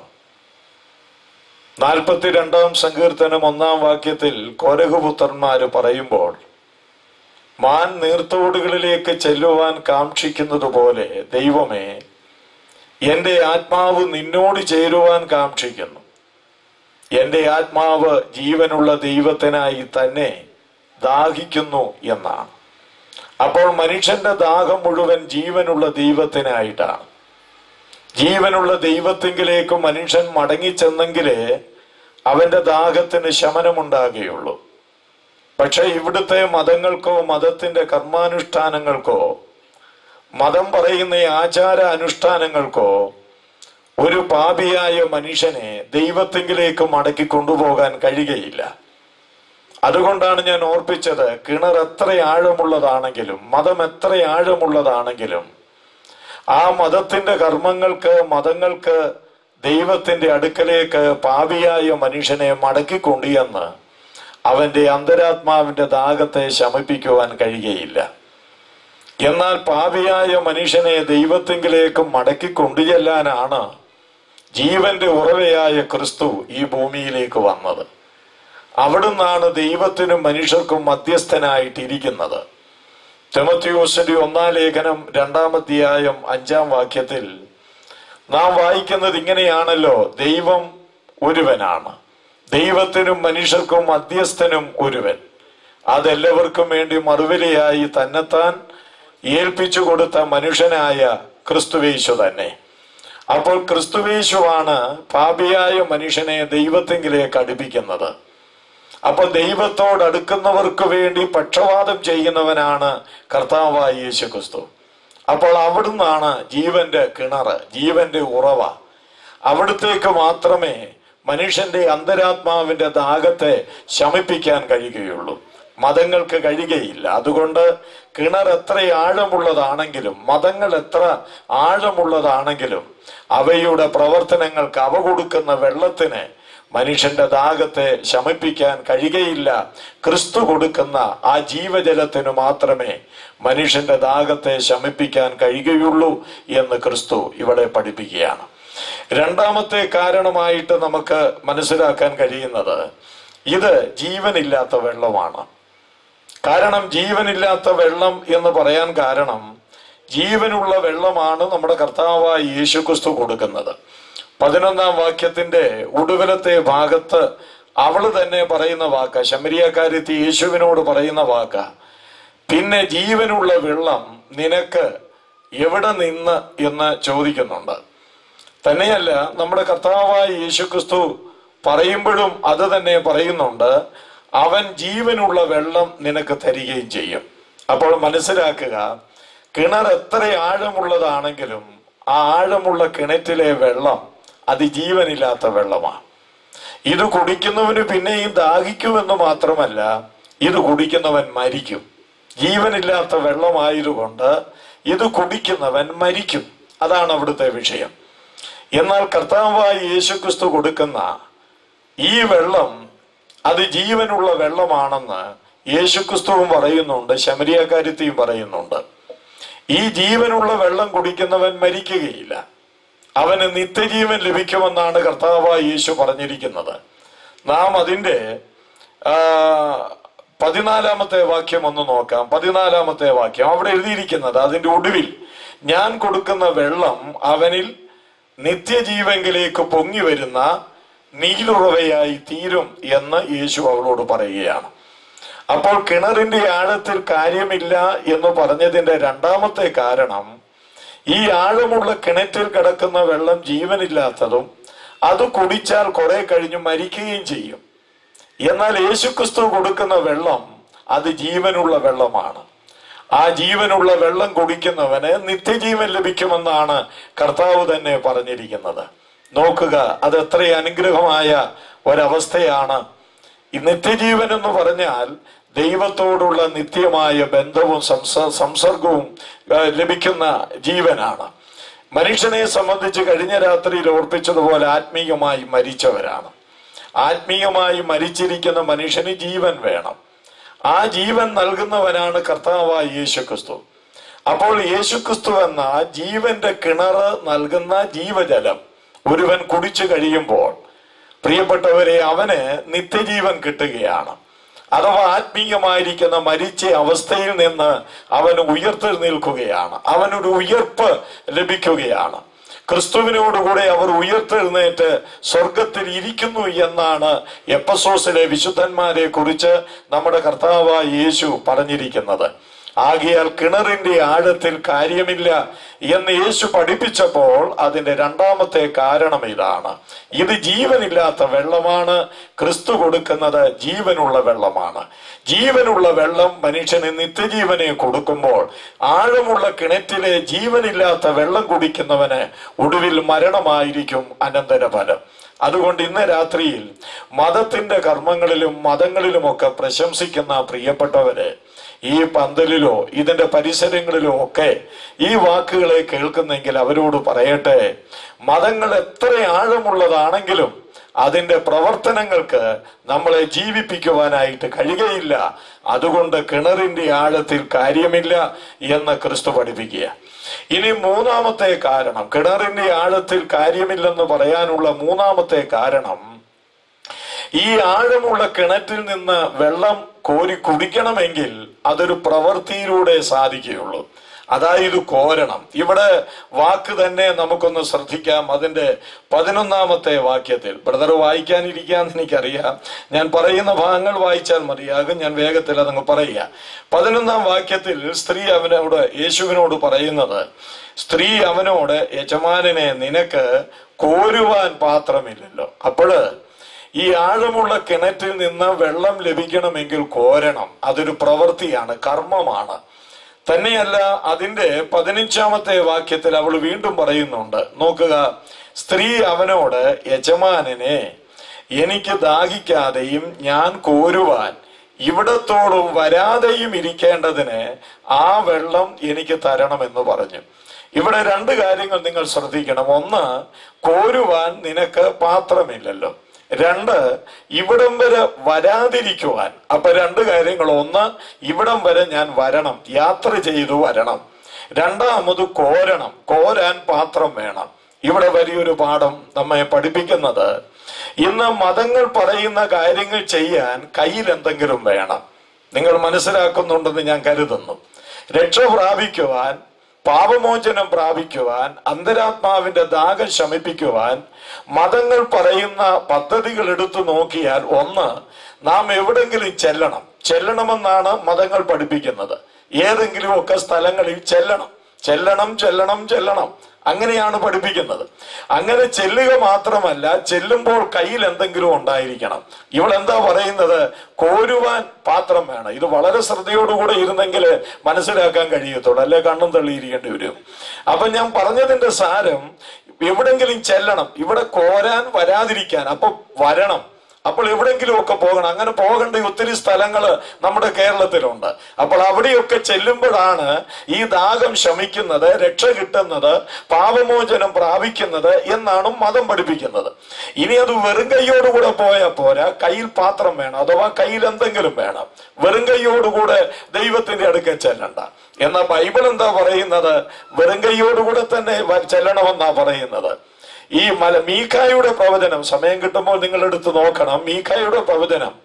അവിടെ വായിക്കുന്നത് ഞാൻ എന്തൊന്നുകൊണ്ട് ദൈവസനീ ചെല്ലുമെന്ന ഞാൻ എന്തൊന്നുകൊണ്ട് ദൈവസനീ ചെല്ലും മീഖ ചോദിക്കുക. ഞാൻ എന്തൊന്നുകൊണ്ട് ദൈവസനീ ചെല്ലും ആയിരം ആയിരം തൈല നദികളുമായിട്ട് ഞാൻ ചെല്ലണമോ? അവിടെ പറയുക. അതുപോലെ ആട്ടുകൊറ്റനുമായി ചെല്ലണമോ? പിന്നെ എന്റെ അകൃത്യത്തിനു പകരമായി എന്റെ ആദ്യജാതനുമായി ഞാൻ ചെല്ലണമോ? ഇങ്ങനെ ആവർത്തിച്ച് ഇങ്ങനെ ചോദിക്കുക. അതിന്റെ അർത്ഥം എന്താ? എന്തുകൊണ്ട് ചെന്നാലും ഒരു പ്രയോജനമില്ലെന്നാണ് മീഖ പഠിപ്പിക്കുന്നത്. അതുകൊണ്ട് ഈ പന്തലിലും മറ്റുമായിട്ട് എന്നെ കേട്ടുകൊണ്ടിരിക്കുന്ന പ്രിയപ്പെട്ടവരോട് പറയട്ടെ മതമത പറയുന്നത് എവിടെയെങ്കിലും ചെല്ലണം ഈ ദാഹം ശമിക്കാൻ. ചെല്ലുക മാത്രമല്ല അത് അത് എന്തെങ്കിലും കയ്യിലുണ്ടായിരിക്കണം. മൂന്നാമത് അത് നാം കോരിയെടുക്കണം. മതം നമുക്ക് സൗജന്യമായിട്ട് ഇങ്ങോട്ട് തരികയില്ല. നമ്മളിങ്ങനെ പ്രവർത്തിച്ചു വേണം അതെടുക്കാൻ. ചുരുക്കത്തിൽ പറയട്ടെ ഇവിടുത്തെ മതങ്ങൾ രക്ഷാ പദ്ധതി കർമ്മ മാർഗ മാർഗങ്ങളിലൂടെ പ്രാപിക്കണം എന്ന് പഠിപ്പിക്കുകയാണ് ചെയ്യുന്നത്. എന്നാൽ നമ്മുടെ കർത്താവായ യേശു എന്താണ് അവിടെ പഠിപ്പിക്കുന്നത്? അതിനെ സംബന്ധിച്ച് പത്താമത്തെ വാക്യം നമുക്ക് നോക്കാം. അതിന് യേശു നീ ദൈവത്തിന്റെ ദാനവും. അപ്പോൾ ഈ ഈ യേശുക്രിസ്തു കൊടുക്കുന്ന ദാഹം ശമിപ്പിക്കുന്ന ജീവജലം അത് ദാനമായിട്ട് കൊടുക്കുന്നതാണ്. കേട്ടോളുക. യേശുക്രിസ്തുവിന്റെ അടുക്കൽ അഥവാ ജീവജലത്തിന്റെ കിണറായിരിക്കുന്ന യേശുക്രിസ്തുവിന്റെ അടുക്കൽ ദാഹം ശമിപ്പിക്കാൻ ഒരുവൻ ചെല്ലുമ്പോൾ അവന്റെ കയ്യിൽ ഒന്നും ചെല്ല ഒന്നും വേണ്ട. അത് ദാനമായിട്ട് ലഭിക്കുന്നുവെന്നാണ് ഇവിടെ രേഖപ്പെടുത്തിയിരിക്കുന്നത്. പ്രിയപ്പെട്ടവരെ അതാണ് വെളിപ്പാട് പുസ്തകം ഏഴാം അധ്യായം പത്താം വാക്യത്തിൽ വായിക്കുന്നത്. രക്ഷയെന്നുള്ളത് സിംഹാസനത്തിൽ ഇരിക്കുന്ന ദൈവത്തിന്റെയും ക്രിസ്തു എന്ന കുഞ്ഞാടിന്റെയും ദാനമത്രേ എന്നാണ് പറയുന്നത്. അപ്പോൾ മതങ്ങൾ പറയുന്നത് അവിടെ പോകണം ഇവിടെ പോകണം. അങ്ങനെ പോയാൽ മാത്രം പോരാ കയ്യിൽ എന്തെങ്കിലും കൊണ്ടുചെല്ലണം അങ്ങനെ കൊണ്ടുചെന്നാൽ മാത്രം പോരാ സ്വയപ്രവൃത്തിയിലൂടെ കർമ്മമാർഗത്തിലൂടെ അത് സ്വായത്തമാക്കുകയും വേണം. അതൊരു മനുഷ്യനെ സംബന്ധിച്ച് സാധ്യമല്ല. അവന്റെ ദാഹം അതുകൊണ്ട് ശമിപ്പിക്കുന്നുമില്ല.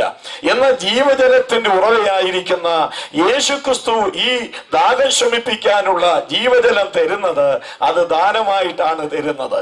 അതിനൊന്നും കൊടുക്കേണ്ട കാര്യമില്ല. നമുക്ക് ഇനിയും ബ്രദർ വായിച്ചാട്ടെ. അപ്പോസ്തോല പ്രവർത്തികൾ എട്ടാം അധ്യായം ഇരുപതാം വാക്യത്തിൽ അപ്പോസ്തോലനായ പത്രോസ് ഒരുവനോട് പറയുന്ന കാര്യം അവിടെ രേഖപ്പെടുത്തിയിട്ടുണ്ട്. അതിന്റെ സന്ദർഭമൊന്നും ഞാൻ ഇവിടെ വിവരിപ്പാൻ ആഗ്രഹിക്കുന്നില്ല. വായിച്ചാട്ടെ. അപ്പോസ്തോല പ്രവർത്തികൾ എട്ടാം അധ്യായം ഇരുപതാം വാക്യം. പത്രോസ് അവനോട് ആ. ദൈവത്തിന്റെ ദാനം പണത്തിന് വാങ്ങിക്കൊള്ളാം എന്ന് നീ നിരൂപിക്കുന്നത് കൊണ്ട് നിന്റെ പണം നിന്നോടുകൂടെ നശിച്ചു പോകും ദൈവത്തിന്റെ ദാനം പണത്തിന് വാങ്ങാൻ നീ നിരൂപിക്കുന്നത് കൊണ്ട് നിന്നോടുകൂടെ ഈ പണം നശിക്കട്ടെ എന്നാണ് പത്രോസ് ആ വിദ്വാനോട് പറയുന്ന കാര്യമാണ്. അപ്പോൾ ഇവിടെ നാം ശ്രദ്ധിക്കേണ്ട കാര്യം ദൈവത്തിന്റെ ദാനം പണം കൊടുത്തു വാങ്ങാൻ പറ്റുകയില്ല. പണം കൊടുത്തു വാങ്ങുന്നതാണെങ്കിൽ അത് ദാനമല്ലല്ലോ. അതുകൊണ്ട് ഇന്ന് രാത്രിയിൽ ഈ വാക്കുകളെ കേട്ടുകൊണ്ടിരിക്കുന്ന പ്രിയപ്പെട്ടവരോട് ഞാൻ ഓർപ്പിക്കട്ടെ.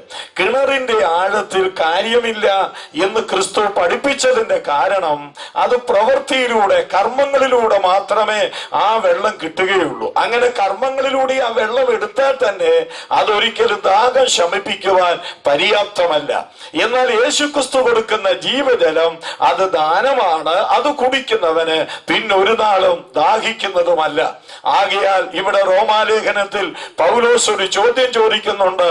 ആകയാൽ കർമ്മമാർഗം എവിടെ? അത് പോയി പോയിരിക്കുന്നു എന്നാണ്.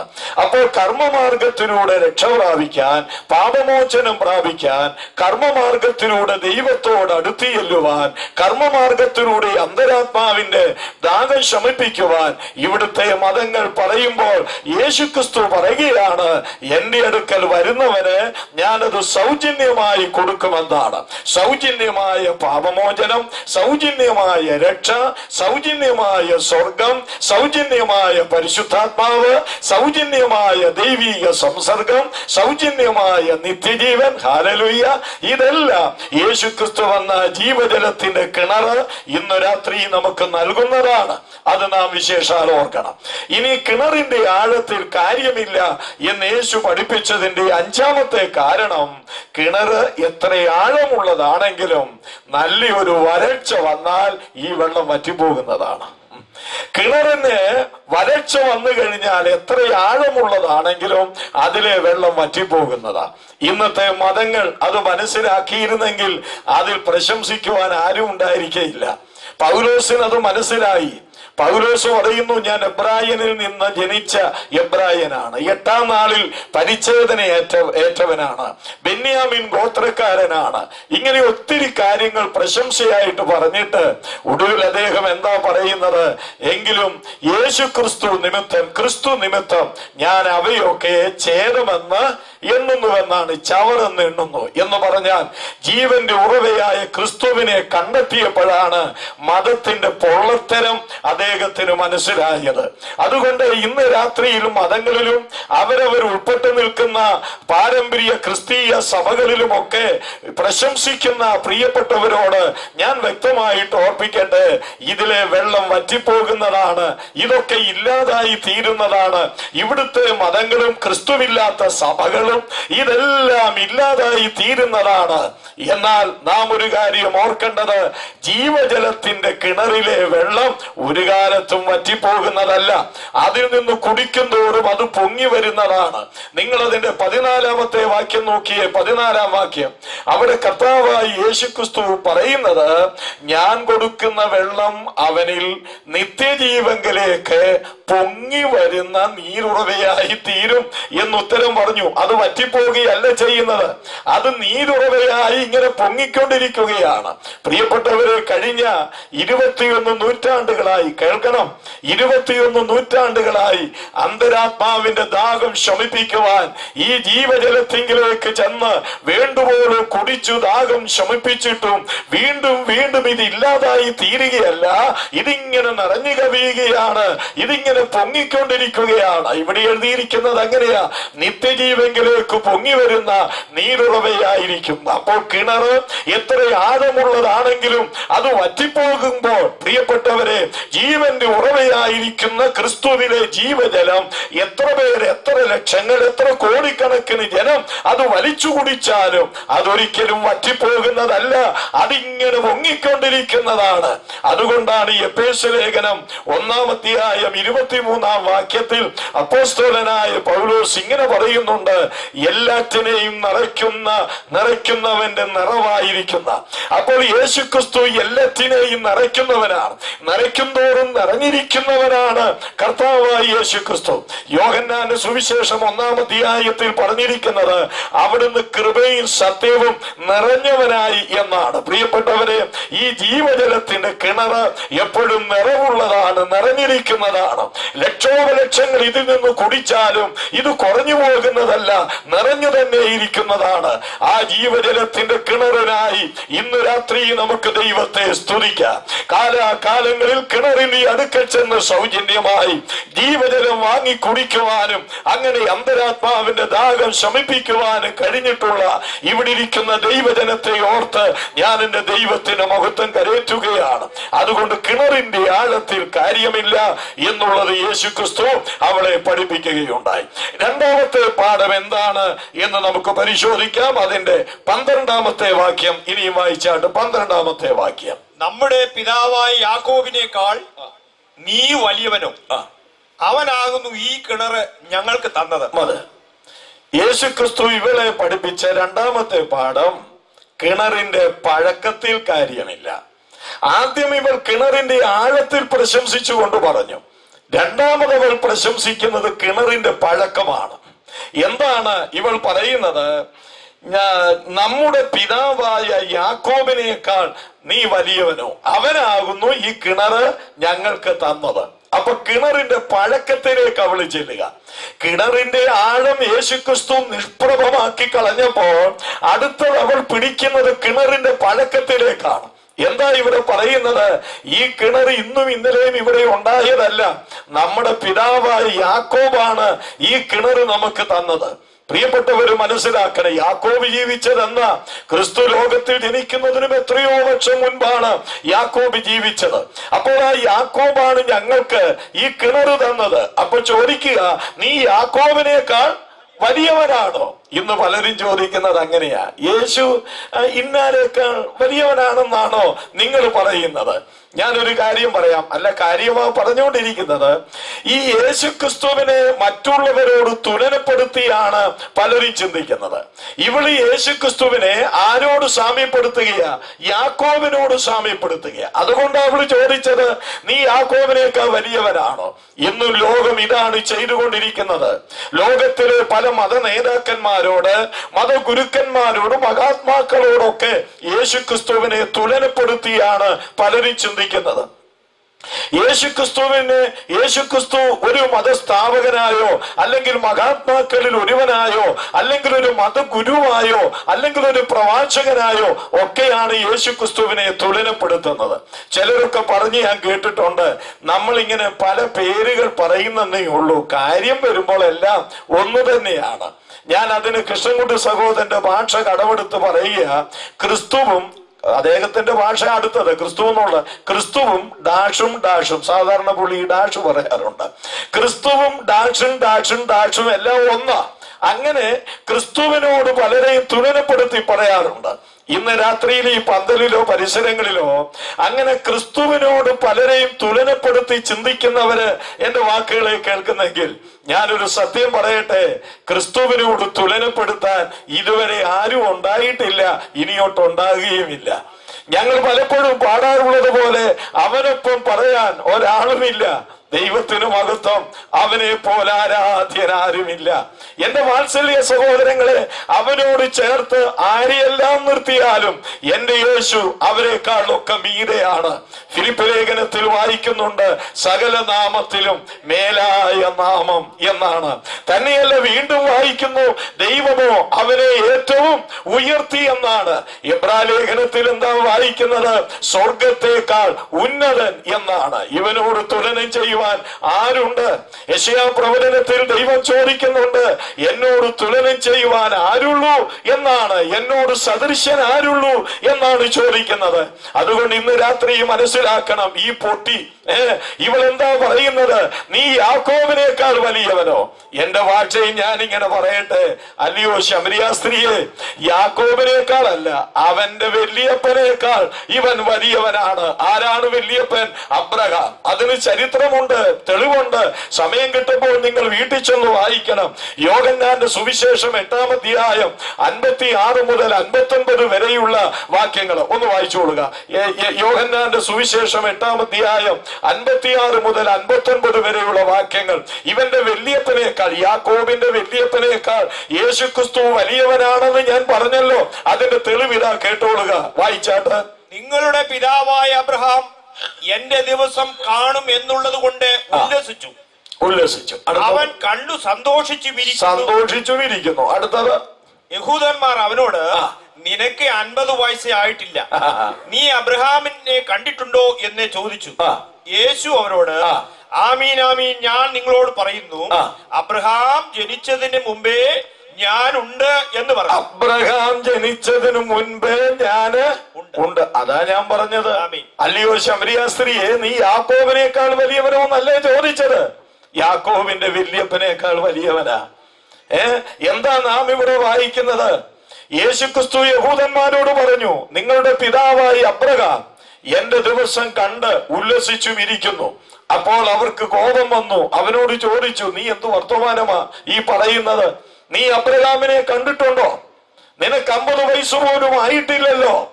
യേശു ക്രിസ്തു പറഞ്ഞു ഞാൻ അബ്രഹാം ജനിക്കുന്നതിന് മുൻപ് ഉണ്ട് എന്ന. എന്ന് പറഞ്ഞ അർത്ഥം എന്താ? യേശു ക്രിസ്തു ലോകത്തിൽ വരുന്നതിനും രണ്ടായിരം വർഷം മുൻപാണ് അബ്രഹാം ജീവിച്ചിരുന്നത്. അപ്പോൾ ക്രിസ്തു ലോകത്തിൽ ജനിക്കുന്നതിനും രണ്ടായിരം വർഷം മുൻപ് ജീവിച്ചിരുന്ന അബ്രഹാമിനോടുള്ള ബന്ധത്തിലാണ് യേശു പറയുന്നത് ആ അബ്രഹാം ജനിക്കുന്നതിന് മുൻപ് ഞാൻ ഉണ്ട്. അതുപോലെ പ്രിയപ്പെട്ടവരെ യോഹന്നാൻ ഒന്നാമധ്യായം ഒന്നു മുതലുള്ള വേദവാക്യങ്ങൾ വായിക്കാം. എന്താണ് അവിടെ? ആദിയിൽ വചനം ഉണ്ടായി എന്നല്ല. വചനം ഉണ്ടായിരുന്നു. വചനം ദൈവത്തോടു കൂടിയായിരുന്നു. വചനം ദൈവമായിരുന്നു. പ്രിയപ്പെട്ടവരെ അവൻ മുഖാന്തര സകലവും ഉളവായി. ചുരുക്കത്തിൽ ഈ ആഴിയും ഊഴിയും എല്ലാം ഉളവാക്കിയത് ഈ വലിയവനായ കർത്താവ് അവനോട് ചോദിക്കുന്നത് നീ യാക്കോബിനേക്കാൾ വലിയവനോ? ഇന്ന് രാത്രിയിൽ ഈ പന്തലിലും പുറത്തുമായി വാക്കുകളെ കേട്ടുകൊണ്ടിരിക്കുന്ന പ്രിയപ്പെട്ടവരോട് ഞാൻ ഓർപ്പിക്കട്ടെ യേശു ക്രിസ്തുവിനോട് തുലനപ്പെടുത്തുവാൻ ആരും തന്നെ ഇല്ല ഈ ലോകത്തിന് ആരുമില്ല പ്രിയപ്പെട്ടവരെ ഒരുവൻ പോലുമില്ല. അവൻ എല്ലാവരേക്കാൾ ഉന്നതനായി ജീവിക്കുന്നു.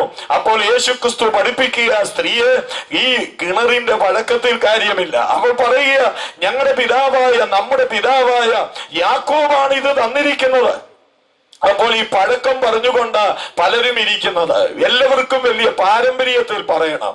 ഈ കാര്യം പറയുമ്പോൾ ചിലര് ചിന്തിക്കുന്നത് കുറ്റമാ പറയുന്നെന്ന്. ഞാൻ ഇവിടെ വന്നപ്പോൾ ഈ സംഘാടകരിൽ ഒരാൾ പറഞ്ഞു ഇന്നലെ ഞാൻ ഇവിടെ ഒരു പാട്ട് പാടി അത് കുറ്റമായി പോയെന്ന്. നല്ലൊരു കാര്യമാണ് ഞാൻ പറഞ്ഞത്. അവരുടെ ഒരു പാട്ട് എത്ര നല്ല ട്യൂണില ഞാൻ ഇവിടെ പാടി കേൾപ്പിച്ചത്. അതെങ്ങനെയാ കുറ്റമാകുന്നത്? നല്ല കാര്യമല്ലേ? അപ്പൊ കാര്യം പറയുമ്പോൾ കുറ്റമായിട്ട് എടുക്കരുത്. അപ്പോൾ ഈ പാരമ്പര്യത്തിലൊക്കെ പ്രശംസിക്കുന്നവരാ ഈ മതങ്ങളും ക്രിസ്തീയ സമൂഹങ്ങളും ഒക്കെ ഇപ്പോൾ എനിക്ക് വളരെ തിരക്കും ബന്ധപ്പാടും ഉള്ളത് കൊണ്ട് ഭവന സന്ദർശനങ്ങൾക്കൊന്നും അങ്ങനെ അധികം പോകുന്നില്ല. വളരെയധികം പൊയ്ക്കൊണ്ടിരുന്ന ഒരു വ്യക്തിയാണ് ഞാൻ. ഇന്ന് നമ്മുടെ സുവിശേഷകന്മാർ അനേകർ ഇതങ്ങ് മറന്നു കളഞ്ഞിരിക്കുക പക്ഷേ ഭവന സന്ദർശനത്തിന് പൊയ്ക്കൊണ്ടിരിക്കുമ്പോഴൊക്കെ വളരെ കാര്യമായിട്ടായിരിക്കും ചില വീടുകളിൽ ചെന്ന് പറയും രക്ഷയുടെ കാര്യങ്ങളൊക്കെ പറയും സുവിശേഷമൊക്കെ പറയും. സുവിശേഷമൊക്കെ പറയുമ്പോൾ അവർ ഞങ്ങളോട് ഇങ്ങനെ പറയും ഉപദേശിമാര് വന്നതൊക്കെ വലിയ സന്തോഷമാണ്. കാപ്പ് കുടിച്ചിട്ടൊക്കെ പോയാൽ മതി. ഞങ്ങളുടെ കുടുംബത്തിന്റെ അനുഗ്രഹത്തിന് വേണ്ടിയൊക്കെ പ്രാർത്ഥിക്കണം. പക്ഷെ ഈ സുവിശേഷമൊന്നും ഞങ്ങളോടല്ല പറയേണ്ടത്. അപ്പൊ ഞങ്ങൾ ചോദിക്കും പിന്നെ ആരോടാ ചേട്ടാ പറയേണ്ടത്? അപ്പൊ പറയണ്ടേ ഈ ഈ മതിലിന്റെ അപ്പുറ ഒരു ഒരു ഹൈന്ദവൻ താമസമുണ്ട്. അദ്ദേഹം ഹൈന്ദവനാണ്. അദ്ദേഹത്തോട് ചെന്ന് ഇതൊക്കെ പറയണം. പിന്നെ നമ്മുടെ ഈ കേരളത്തിൽ തന്നെ ഒത്തിരി ആദിവാസികളുണ്ട്. ഈ ഊരാളിമാരും മന്നാന്മാരും ഒക്കെയുള്ള ആദിവാസികൾ അവരോട് ചെന്ന് ഇതൊക്കെ പറയണം. അപ്പൻ വളരെ ശാന്തമായി തിരിച്ചു ചോദിക്കും അപ്പൊ ചേട്ടന് ഈ സുവിശേഷം ഒന്നും വേണ്ടേ. അപ്പോൾ അദ്ദേഹത്തിന്റെ മറുപടി ഞങ്ങൾക്ക് അത് വേണ്ട. കാരണം എന്താന്ന് ചോദിച്ചാൽ കൊടുങ്ങല്ലൂരിൽ ആ പുള്ളി വന്നിറങ്ങിയ സമയത്ത് നേരെ വന്നത് ഞങ്ങളുടെ വീട്ടിലോട്ടാണ്. ഞങ്ങളുടെ വീട്ടിൽ വന്നാണ് കടുങ്കാപ്പി പുള്ളി കുടിച്ചത്. പുള്ളി ആരാന്ന് മനസ്സിലായല്ലോ? തോമാസ് ലീഗ അപ്പൊ തോമാസ് ലീഗ ആദ്യം വന്നത് ഞങ്ങളുടെ വീട്ടിലേക്കാ. അദ്ദേഹത്തിന്റെ വന്യവാദം ചവിട്ടിയ പാരമ്പര്യമാണ് ഞങ്ങൾക്ക് പറയാനുള്ളത്. ഇന്ന് രാത്രിയിൽ ഇവിടെ എന്നെ കേട്ടുകൊണ്ടിരിക്കുന്ന പ്രിയപ്പെട്ടവരോട് വളരെ സ്നേഹത്തോടുകൂടെ ഒരു വസ്തുത പറയുകയാണ്. നമ്മുടെ സഭകളുടെ പാരമ്പര്യത്തിലൊന്നും കാര്യമില്ലെന്നേ. മതത്തിന്റെ പഴക്കത്തിലൊന്നും കാര്യമില്ല. അപ്പോസ്തോലനായ പൗലോസ് പത്രോസിന്റെ ഒന്നാം പത്രോസ് അദ്ദേഹത്തിന്റെ ഒന്നാം ലേഖനം ഒന്നാമധ്യായം പതിനെട്ടും പത്തൊൻപതും വാക്യങ്ങളിൽ എന്താ പറഞ്ഞിരിക്കുന്നത്? വ്യർത്ഥവും പിതൃപാരമ്പര്യവുമായ നിങ്ങളുടെ നടപ്പിൽ നിന്ന് എന്നാണ് പറഞ്ഞിരിക്കുന്നത്? അപ്പോൾ ആ പിതൃപാരമ്പര്യത്തെ കുറിച്ച് പറഞ്ഞിരിക്കുന്നത് എന്താണെന്നറിയാമോ? അത് വ്യർത്ഥമായ പിതൃപാരമ്പര്യമാ. എത്ര പഴക്കം പറഞ്ഞാലും തോമസ് ലിഗയുടെ പഴക്കം പറഞ്ഞാലും പത്രോസിന്റെ പഴക്കം പറഞ്ഞാലും ആശ്വഭാരത സംസ്കാരത്തിന്റെ പാരമ്പര്യം പറഞ്ഞാലും എന്ത് പാരമ്പര്യത്തിൽ ഉയർത്തിപ്പിടിച്ചാലും ഞാൻ പറയട്ടെ മതങ്ങളുടെ പഴക്കത്തിൽ കാര്യമില്ല. സഭകളുടെ പഴക്കത്തിൽ കാര്യമില്ല. അതെന്തുകൊണ്ട്? എന്ന് യേശു മൂന്ന് കാര്യങ്ങളിലൂടെ പഠിപ്പിച്ചു. എന്താണ് ആ മൂന്ന് കാര്യങ്ങൾ? ഒന്ന് ഈ കിണർ കൊടുത്ത യാക്കോവ് മരിച്ചു. കിണറിന്റെ പഴക്കത്തിൽ കാര്യമില്ല എന്ന് പഠിപ്പിച്ചതിന്റെ ഒന്നാമത്തെ കാരണം എന്താണെന്നറിയാമോ? അല്ലയോ സ്ത്രീയെ ഈ യാക്കോബ് ഈ കിണർ തന്നു എന്നാണല്ലോ നീ പറയുന്നത്. ഈ കിണർ തന്ന യാക്കോബ് എന്തിയെ? അവന്റെ കല്ലറ ഇപ്പോഴും ഇവിടെയുണ്ട്. അവൻ മരിച്ചുപോയി. അതുകൊണ്ട് കിണറിന്റെ പഴക്കത്തിലൊന്നും കാര്യമില്ല. ഇന്ന് രാത്രിയിൽ ഈ വാക്കുകളെ കേട്ടുകൊണ്ടിരിക്കുന്ന പ്രിയപ്പെട്ടവരോട് ഓർപ്പിക്കട്ടെ. ഓരോരോ വ്യക്തികളുടെ പാരമ്പര്യത്തിൽ അറിയപ്പെടുന്ന സഭകളായിരുന്നാലും മതങ്ങളായിരുന്നാലും ആ വ്യക്തികളെല്ലാം മരിച്ചു മൺമറഞ്ഞു പോയി. അവരുടെ എല്ലാ ശവകുടീരങ്ങൾ നമ്മുടെ നാട്ടിൻപുറങ്ങളിലുണ്ട് നമ്മുടെ ലോകത്തുണ്ട്. നമ്മളത് മനസ്സിലാക്കണം. അവരാരും ഇന്ന് ജീവിച്ചിരിക്കുന്നില്ല. എന്നാൽ ഇന്ന് രാത്രി ഞാൻ ഓർപ്പിക്കട്ടെ ജീവജലത്തിന്റെ കിണറിന്റെ ഉടമൻ ഉടവ ഉടയവൻ ഇന്നും ജീവിച്ചിരിപ്പുണ്ട്. അതാണ് ഇതിന്റെ കാരണമെന്ന് പറയുന്നത്. ജീവജലം കൊടുക്കുന്നവൻ ജീവിച്ചിരിക്കുന്നു. ഇവർക്ക് ജീവനില്ലാത്ത വെള്ളം കൊടുത്ത യാക്കോബ് മരിച്ചപ്പോൾ ജീവജലം കൊടുക്കുന്ന ക്രിസ്തു ഹാലലൂയ ഇന്നും അവൻ ജീവിക്കുന്നു എന്നുള്ളതാണ്. നാം വെളിപ്പാട് പുസ്തകം ഒന്നാമധ്യായം പതിനെട്ടാം വാക്യം വായിക്കുമ്പോൾ പത്മോസ് ദ്വീപിലേക്ക് അന്നത്തെ റോമയുടെ ഭരണാധികാരി ആയിരുന്ന ഡൊമീഷൻ ചക്രവർത്തിയാൽ യോഗന്നാൻ അപ്പോസ്തോലൻ നാടുകടത്തപ്പെട്ടു അങ്ങനെ പത്മോസ് ദ്വീപിന്റെ കരിമ്പാറ കെട്ടുകളുടെ നടുവിൽ ആരുപോലും ഇല്ലാത്തവനായി യോഗന്നാൻ അപ്പോസ്തോലൻ കിടക്കുകയാണ് ആ സമയത്തും ആറത്തും ഒൻകച്ച കെട്ടിയവനായി നിലയങ്കി ധരിച്ചവനായി മുഖത്തധാരിയായി യേശു അവിടേക്ക് ഇറങ്ങി വന്നു. യേശുവിനെ കണ്ടപ്പോൾ യോഗന്നാൻ മരിച്ചവനെ പോലെ യേശുവിന്റെ കാൽക്കൽ വീണു. അപ്പോൾ യേശു ചെയ്തതാണ് പതിനെട്ടാം വാക്യത്തിൽ പറയുന്നത്. ക്രിസ്തു തന്റെ വലതുകരം അവന്റെ മീതെ വിരിച്ചു. വിരിച്ചിട്ട് എന്താ പറയുന്നത്? നീ ഭയപ്പെടേണ്ട. ഞാൻ മരിച്ചവനായിരുന്നു. ഇപ്പോഴ് എന്നേക്കും ജീവിക്കുന്നു എന്നാണ്. പിന്നെന്താ പറഞ്ഞിരിക്കുന്നത് മരണത്തിന്റെ ഈ പാതാളത്തിന്റെ ഈ താക്കോൽ എന്റെ കൈവശമുണ്ട് എന്നാണ് പറഞ്ഞിരിക്കുന്നത്. പ്രിയപ്പെട്ടവര് അവിടെ യേശുക്രിസ്തു എന്താ പറയുന്നത്? മരണത്തിന്റെയും പാതാളത്തിന്റെയും താക്കോൽ കൈവശമാക്കിക്കൊണ്ട് ഞാൻ മരിച്ചവനായിരുന്നെങ്കിലും അലലുയ്യ ഇപ്പോൾ ഇതാ ജീവിച്ചിരിക്കുന്നു ഉയർത്തെഴുന്നേറ്റിരിക്കുന്നു എന്നാണ്. യാക്കോബ് മരിച്ചിടത്ത് യേശുക്രിസ്തു ജീവിക്കുന്നു. അതുകൊണ്ട് മതത്തിന്റെ വഴക്കത്തിനും സഭയുടെ പഴക്കത്തിലും ആരും പ്രശംസിക്കേണ്ട കാര്യമില്ല. അവരൊക്കെ മരിച്ചുപോയി പ്രിയപ്പെട്ടവരെ. സഭാപിതാക്കന്മാരൊക്കെ മരിച്ചുപോയി മത നേതാക്കന്മാരൊക്കെ മരിച്ചുപോയി. അവരുടെ കല്ലറുകൾ ഇന്നും അടയപ്പെട്ട് കിടക്കുകയാണ് എന്നാൽ ജീവജലം തരുന്ന യേശു ക്രിസ്തുവിന്റെ കല്ലറ മൂന്ന് ദിവസം അടയപ്പെട്ട് കിടന്നെങ്കിലും മൂന്നാം ദിവസം അത് തുറക്കപ്പെട്ട് മരണത്തിന്റെ മേൽ ജയം വരിച്ചുകൊണ്ട് യേശു തുങ്കപ്രതാപത്തോടെ ഹാലലൂയ ഉയർത്തെഴുന്നേൽക്കുകയുണ്ടായി. അതുകൊണ്ടാണ് എബ്രാലേഖനം ഏഴാം അധ്യായം ഇരുപത്തി അഞ്ചാം വാക്യത്തിൽ വായിക്കുന്നത്. ദൈവത്തോട് അടുക്കുന്നവർക്ക് പക്ഷപാതം ചെയ്യുവാൻ സദാ ജീവിക്കുന്നവനാകയാൽ എന്ന് യേശുവിനെ കുറിച്ച് പറയുകയാണ്. അതുകൊണ്ട് പ്രിയപ്പെട്ടവര് മതത്തിന്റെ വഴക്കത്തിൽ കാര്യമില്ല സഭകളുടെ വഴക്കത്തിലും കാര്യമില്ല. അതൊക്കെ സ്ഥാപിച്ചവര് മരിച്ചുപോയി. എന്നാൽ ഇതാ ക്രിസ്തു ജീവിച്ചിരിക്കുന്നു. ജീവജലത്തിന്റെ കിണറായിരിക്കുന്നവൻ ജീവജലം കൊടുക്കുന്നവൻ ജീവിക്കുന്നു. അതുകൊണ്ട് കിണറിന്റെ പഴക്കത്തിൽ കാര്യമില്ല എന്ന് യേശു പഠിപ്പിച്ചു. രണ്ടാമത് പഠിപ്പിച്ച കാര്യം അവളെ പഠിപ്പിച്ച കാര്യം എന്തെന്ന് ചോദിച്ചാൽ ഈ ഈ കിണറ് ഒരു സമയത്ത് ഇല്ലാതായി തീരും. നമുക്കറിയാം ചില വാർത്തകൾ ചില ദിവസങ്ങളിലെ പത്രങ്ങളൊക്കെ വായിക്കുമ്പോൾ കണ്ടിട്ടുണ്ട് ഇന്ന സ്ഥലത്ത് ഇന്നാരുടെ കിണറ് നേരം വെളുത്ത് നോക്കിയപ്പോൾ അപ്രത്യക്ഷമായി കാണാതായി താണുപോയി എന്നൊക്കെ വായിക്കാറുണ്ട്. അപ്പോൾ ഒരു ചെറിയ ഭൂചലനം മതി ഈ കിണറൊക്കെ പോകാൻ. മനസ്സിലാകുന്നുണ്ടല്ലോ ചെറിയൊരു ഭൂചലനം മതി. വലിയ എന്തോന്നാ റിക്ടർ സ്കെയിലൊന്നും വേണ്ട. ചെറിയൊരു ഭൂചലനം മതി. കിണറൊക്കെ തകർന്നു പോകാൻ.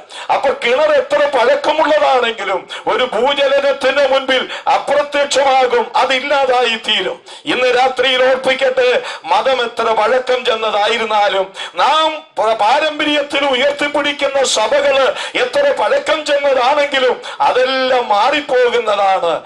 എന്നാൽ ജീവജലത്തിന്റെ കിണറ് ഒരു കാലത്തും മാറുന്നതല്ല. അതാണ് എബ്രാലേഖനം പതിമൂന്നാം അധ്യായം എട്ടാം വാക്യത്തിൽ പറയുന്നു എബ്രായ ലേഖനകർത്താവ് യേശു ക്രിസ്തു ഇന്നലെയും ഇന്നും എന്നേക്കും അനന്യരാകുന്നു ദൈവത്തിനു സ്തോത്രം. യേശു മാറാത്തവരാണ് യേശു മാറാത്തവരാണ് ആകെ പ്രിയപ്പെട്ടവരെ കിണറിന്റെ പഴക്കത്തിൽ കാര്യമില്ല കിണറിന്റെ ആഴത്തിൽ കാര്യമില്ല എന്ന് യേശു അവളെ പഠിപ്പിച്ചു. ഇനി യേശു പഠിപ്പിച്ച മൂന്നാമത്തെ പാഠത്തിലേക്ക് ഞാൻ വേഗത്തിൽ കടന്നു വരട്ടെ. ക്രിസ്തു ആരാണെന്ന് അവളെ പഠിപ്പിച്ചു. അത് ക്രിസ്തുവിന് വലിയ നിർബന്ധമാക്കേട്ടോ വിവിധ നിലകളിലാണ് ഇവൾ ക്രിസ്തുവിനെ കണ്ടത്.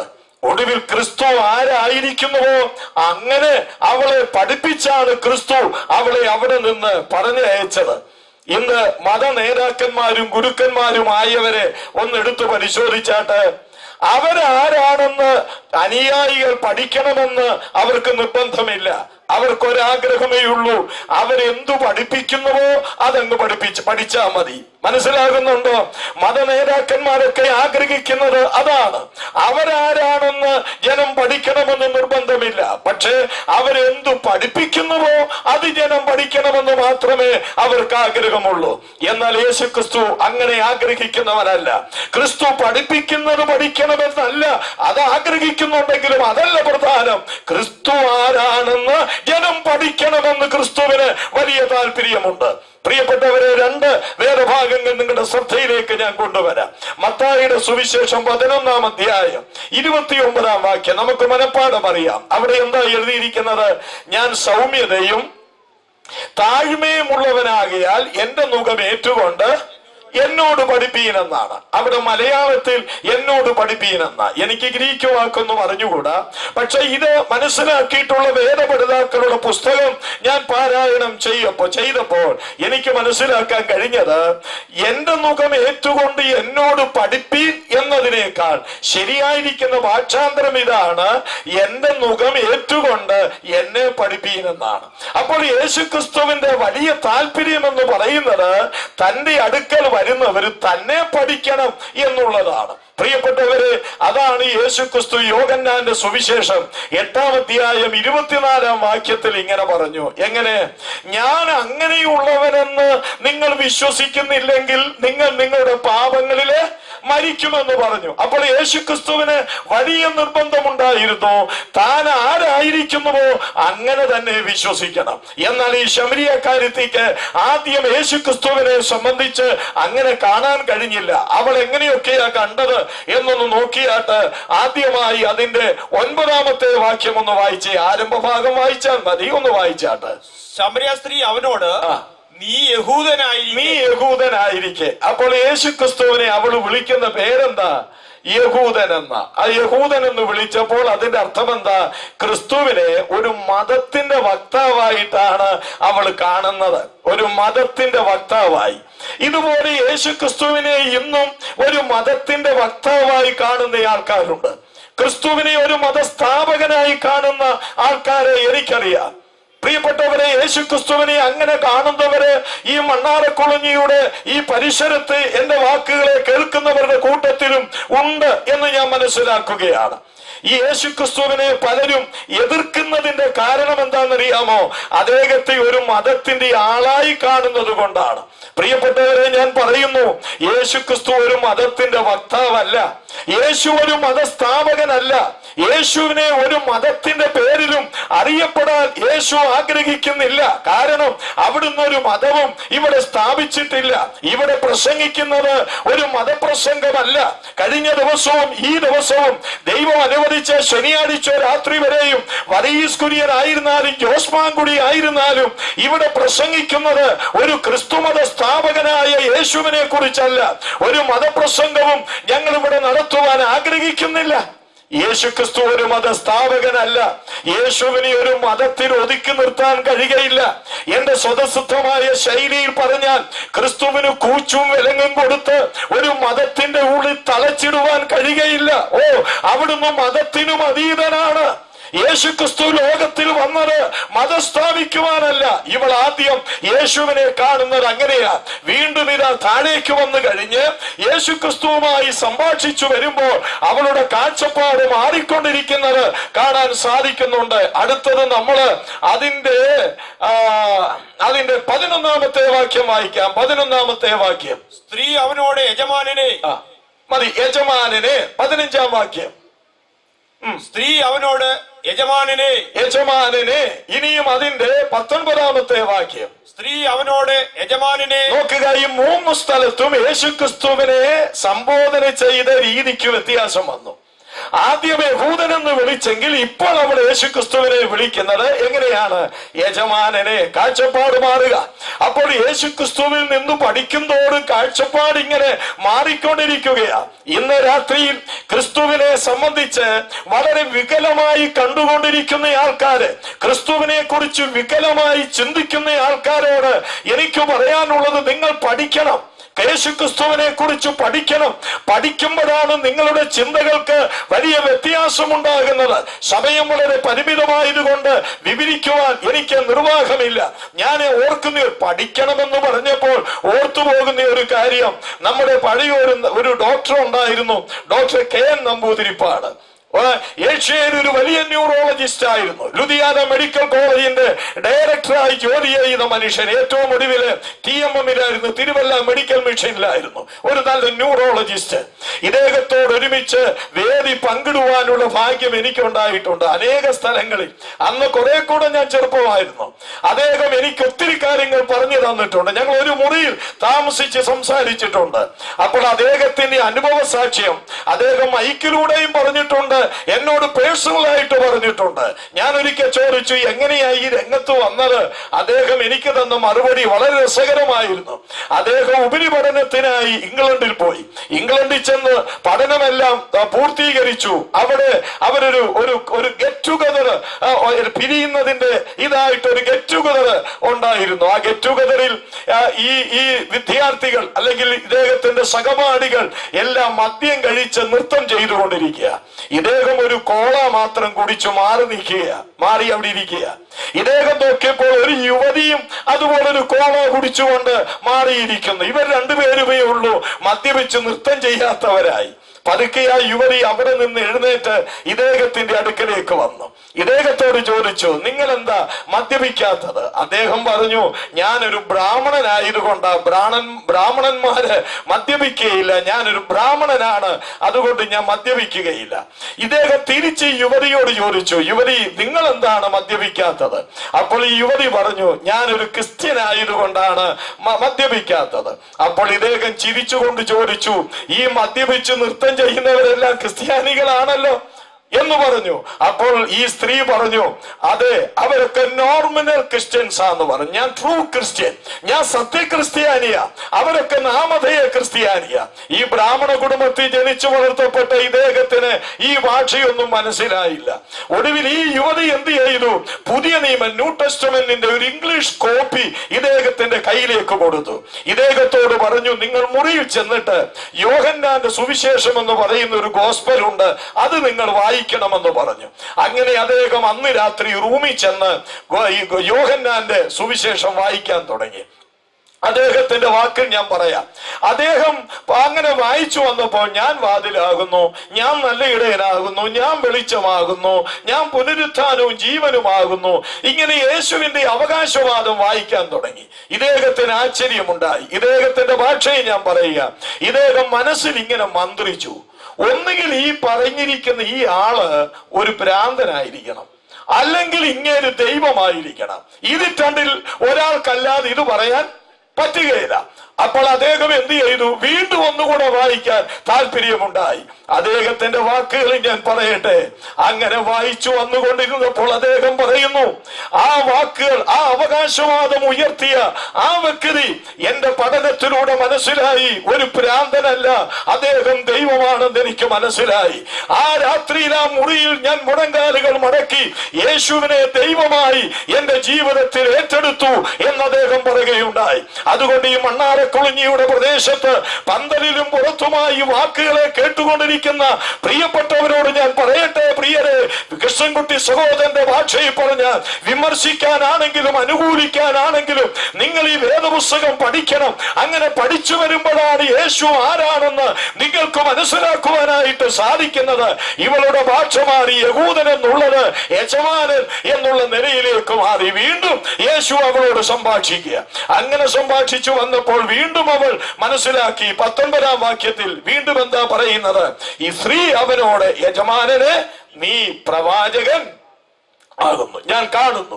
അപ്പോൾ ഒന്ന് ആദ്യം യഹൂദൻ പറഞ്ഞു പിന്നെ യജമാനൻ പറഞ്ഞു ഇപ്പോഴും ഇവിടെ പറയുന്നത് നീ ഒരു പ്രവാചകനാണെന്ന് ഞാൻ കാണുന്നു. അവരുടെ ചിന്താഗതി പുരോഗമിച്ചു കൊണ്ടിരിക്കുന്നു അവരുടെ അവളുടെ പഠനം പുരോഗമിച്ചു കൊണ്ടിരിക്കുന്നു അവളുടെ അവളുടെ ഹൃദയം ഇന്ന് പലരെ പോലെ ഒരു ഒരു ഒരു ഇടുക്കമുള്ള ഹൃദയമല്ലായിരുന്നു. ചിലര് ഇടുക്കമുള്ള ഹൃദയമായതുകൊണ്ടാണ് ഞങ്ങൾ ഈ മൈക്കിലൂടെ പറയുന്നതൊക്കെ മനസ്സിലാക്കാത്തത്. എന്തോ പറഞ്ഞാലും കുറ്റമാണെന്ന് പറയുന്നതിന്റെ കാരണം അതാ. ഹൃദയം ഒന്ന് വിശാലമാക്കണം. പ്രിയപ്പെട്ടവരെ വചനത്തിന് മുൻപിൽ ഹൃദയം വിശാലമാകുമ്പോഴാണ് കാര്യങ്ങൾ പഠിക്കുവാനും ഉൾക്കൊള്ളാനും നമുക്ക് സാധിക്കുന്നത്. ഇതാ ഇവർ മൂന്നാമത് യേശുവിനെ കുറിച്ച് പറയുന്നത് "ഏ, നീ ഒരു പ്രവാചകനാണെന്ന് ഞാൻ കാണുന്നു. പ്രിയപ്പെട്ടവരെ അതുകൊണ്ടായില്ല. ചിലര് പ്രവാചകനെന്ന് മാത്രം കണ്ടങ്ങ് ഒതുങ്ങുകയാ ചെയ്യുന്നത്. ഞാൻ ഓർക്കുന്നുണ്ട് ആയിരത്തി തൊള്ളായിരത്തി തൊണ്ണൂറ്റി ഒമ്പതിൽ ആയിരത്തി തൊള്ളായിരത്തി തൊണ്ണൂറ്റി ഒൻപതിൽ ഞാൻ ചങ്ങനാശ്ശേരി ഇപ്പോഴും എപ്പോഴും ചങ്ങനാശ്ശേരി വഴി പോകും. എന്നാൽ അന്നൊരിക്കൽ ചങ്ങനാശ്ശേരി വഴി പോയപ്പോൾ ഒരു പോസ്റ്റർ കണ്ടു. ആ പോസ്റ്ററിന്റെ തലക്കെട്ട് ഇതാണ് സ്നേഹ സംവാദം എന്നാണ്.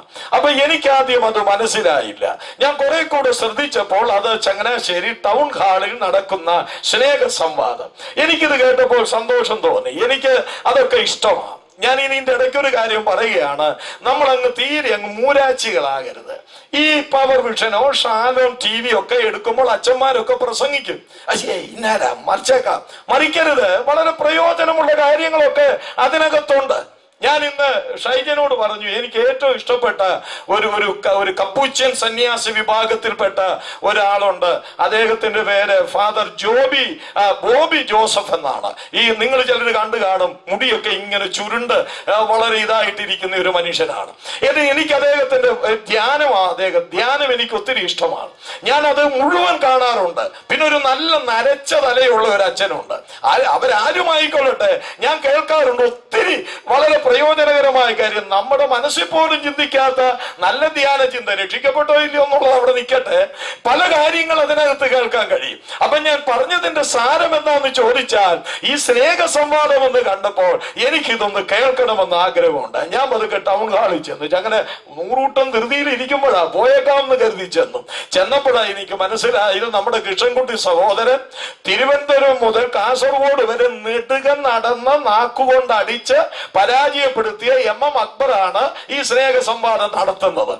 എനിക്കറിഞ്ഞുകൂടായിരുന്നു. അങ്ങനെ അദ്ദേഹം യേശുക്രിസ്തുവിനെ കുറിച്ച് ഒരു മണിക്കൂർ പ്രസംഗിച്ചു. നമ്മൾ യേശുവിനെ അവനെന്നും ഇവനെന്നും വിളിക്കുമ്പോൾ പുള്ളി ഒരു ഒറ്റ വാക്ക് പറയുന്നില്ല. അങ്ങ് അങ്ങ് അവിടുന്ന് ഇങ്ങനൊക്കെ ബഹുമാനം കൊടുത്താ സംസാരിക്കുന്നത്. അങ്ങനെ യേശു ക്രിസ്തുവിനെ വളരെയധികം അങ്ങോട്ട് വാനോളവും ഉയർത്തിയിട്ട് അദ്ദേഹം ഒടുവിൽ ഇങ്ങനെ പറഞ്ഞു. ഇങ്ങനെയൊക്കെ ആണെങ്കിലും ക്രിസ്ത്യാനികൾ പറയുന്നത് പോലെ യേശു ദൈവമല്ല അദ്ദേഹം കേവലം ഒരു പ്രവാചകനാണ് എന്ന് പറഞ്ഞു. പ്രിയപ്പെട്ടവരെ അങ്ങനെ യേശുവിനെ കാണുന്നവരുണ്ട്. അതുകൊണ്ട് ഇന്ന് രാത്രിയിൽ ഇവൾ യഹൂദൻ എന്ന് വിളിച്ചിട്ട് വീണ്ടും യജമാനൻ എന്ന് വിളിച്ചിട്ട് വീണ്ടും പ്രവാചകനിൽ എത്തിച്ചേർന്നിരിക്കുകയാണ്. വീണ്ടും യേശു അവളെ പഠിപ്പിക്കാൻ ശ്രമിക്കുകയാണ്. വീണ്ടും പഠിപ്പിച്ചു. പ്രവാചകൻ എന്ന് പറയാൻ കാര്യം എന്താണെന്നറിയാമോ അതും പറയാം. ഇവളും പറഞ്ഞു ഞാൻ കൊടുക്കുന്ന വെള്ളം കുടിക്കുന്നവനെ ഒരു നാളും ദാഹിക്കുകയില്ലെന്ന് യേശു പറഞ്ഞപ്പോൾ ഇവൾ യേശുവിനോട് പറഞ്ഞു അങ്ങനെയാണെങ്കിൽ ഇവിടം വരെ കോരാതിരിക്കാൻ അതാണല്ലോ നമ്മുടെ സഹോദരിമാർക്കും താല്പര്യം ഇപ്പോൾ ഒത്തിരി ജോലി ചെയ്യാൻ അവർക്ക് വലിയ താല്പര്യമില്ല ഈസ്റ്റേന്റെ കറി പൗഡർ കിട്ടും ഈസ്റ്റേന്റെ ഫിഷ് മസാല കിട്ടും ഈസ്റ്റേന്റെ മീറ്റ് മസാല കിട്ടും. അപ്പൊ ഇതെല്ലാം ഈ ഒത്തിരി പണിയെടുക്കാന് പലർക്കും മനസ്സില്ലല്ലോ. പിന്നെ ഈ മുറ്റത്തെല്ലാം ഇപ്പൊ നമ്മൾ ഇത് പാകിയിരിക്കുക കല്ല് പാകിയിരിക്കുക. അതുകൊണ്ട് മുറ്റവും അടിക്കേണ്ട കാര്യമില്ല. എല്ലാം നല്ല സൗകര്യം. അതുകൊണ്ട് ഈ സ്ത്രീയും പറയുകയാണ് ഞാൻ ഇവിടം വരെ വരാതിരിക്കാൻ എനിക്ക് ആ വെള്ളം തരണം. അപ്പോൾ യേശു പറഞ്ഞു ഒരു കാര്യം ചെയ്യും നിനക്ക് തരാം. ആദ്യം പോയി നിന്റെ ഭർത്താവിനെ വിളിച്ചുകൊണ്ട് വരാൻ പറഞ്ഞു. അപ്പോൾ അവൾ പറഞ്ഞു കർത്താവേ എനിക്ക് ഭർത്താവില്ല എന്ന് പറഞ്ഞു. അപ്പോൾ വീണ്ടും യേശു പറഞ്ഞു നിനക്ക് ഭർത്താവില്ലെന്ന് പറഞ്ഞത് ശരിയാ. അഞ്ചു പേരുണ്ടായിരുന്നു. അവരിപ്പോഴില്ല. ഒരുത്തൻ ഇപ്പോഴുണ്ട്. അവനും നിന്റെ ഭർത്താവല്ലെന്ന് പറഞ്ഞു. അത് മനസ്സിലാക്കി അത് കേട്ട് കഴിഞ്ഞപ്പോൾ ഇവൾക്ക് മനസ്സിലായി ഇയാൾ ചില്ലറക്കാരനല്ല എന്നെ ഒരു പരിചയം പോലും ഇല്ലാത്തവൻ എന്റെ ഉള്ളത് മുഴുവൻ വിളിച്ചു പറഞ്ഞില്ലേ? അപ്പോഴാണ് പ്രവാചകൻ എന്ന് പറയുന്നത്. പക്ഷേ അതുകൊണ്ട് യേശു തൃപ്തിപ്പെടുന്നില്ല. യേശു വീണ്ടും അവളെ പഠിപ്പിക്കുകയാ. അവളോട് ഈ പ്രവാചകൻ എന്ന് പറഞ്ഞിട്ട് അവൾ യേശുവിനോട് പറഞ്ഞു ഞങ്ങളുടെ പിതാക്കന്മാർ ഈ മലയിൽ ആരാധിക്കുന്നു. ഈ മലയിൽ ആ വിഷയത്തിലേക്കൊന്നും ഇന്ന് രാത്രി വരാൻ എന്റെ മുൻപാകെ സമയമില്ല. എനിക്ക് സമയം തന്നിട്ടുണ്ട്. ഇന്നലെ അങ്ങനെ നിർത്തി ഇന്നും അങ്ങനെ നിർത്തും. അപ്പോൾ ഈ- ഞങ്ങളുടെ പിതാക്കന്മാർ ഈ മലയിൽ ആരാധിക്കുന്നു. അപ്പോൾ ആ മലയെന്ന് പറയുന്നത് നമുക്കറിയാം ഗർസി മലയാണ്. ശമരിയക്കാർ പോയി പോകുന്ന മലയാണ് ഗർസി മല. അപ്പോൾ ഞങ്ങളുടെ പിതാക്കന്മാർ ഈ മലയിൽ ആരാധിക്കുന്നു. നിങ്ങൾ പറയുന്നു അല്ലല്ല യരിശിലേമി നമസ്കരിക്കണമെന്ന് യരിശിലേമി നമസ്കരിക്കണമെന്ന്. അപ്പോൾ യേശു ക്രിസ്തു അവളോട് പറഞ്ഞു ഈ മലയിലുമല്ല ആ അത് പറയുമെന്ന് എനിക്കറിയാം. ഈ മലയിലുമല്ല ആ മലയിലുമല്ല. ബൈബിളിൽ അങ്ങനെ എഴുതിയിട്ടില്ല. നമ്മൾ ഈ ബൈബിളിൽ എഴുതാത്തതൊക്കെ കൂട്ടിച്ചേർത്ത് പറയുക. ഈ മലയിലുമല്ല ആ മലയിലുമല്ലെന്നല്ല യേശു പറഞ്ഞത്. ഈ മലയിലുമല്ല യരിശ്രേമിലുമല്ല ദൈവത്തെ ആരാധിക്കുന്നത് എന്നുള്ള നാഴിക വരുന്നു എന്നാണ്. എന്ന് പറഞ്ഞാൽ സ്ഥലത്തിന് പ്രാധാന്യമില്ല എന്നൊരു സ്ഥിതി സ്ഥിതിയിലേക്ക് വരികയാണ്. അതാണ് യേശു പറഞ്ഞത്. പോകട്ടെ. എന്നിട്ട് ആരാധനയെ സംബന്ധിച്ച് ഇങ്ങനെ പഠിച്ചു വരുമ്പോൾ യേശു ക്രിസ്തു വീണ്ടും അവളെ തന്നെ കുറിച്ച് പഠിപ്പിക്കുന്നത് എന്താണ് എന്ന് അവിടെ പറഞ്ഞിട്ടുണ്ട്. അതിന്റെ ഇരുപത്തിയഞ്ചും ഇരുപത്തി ഒമ്പതും വാക്യങ്ങൾ ഒന്ന് വായിച്ചാട്ട് വേഗത്തിൽ. ഇരുപത്തിയഞ്ചാം വാക്യം. സ്ത്രീ അവരോട്.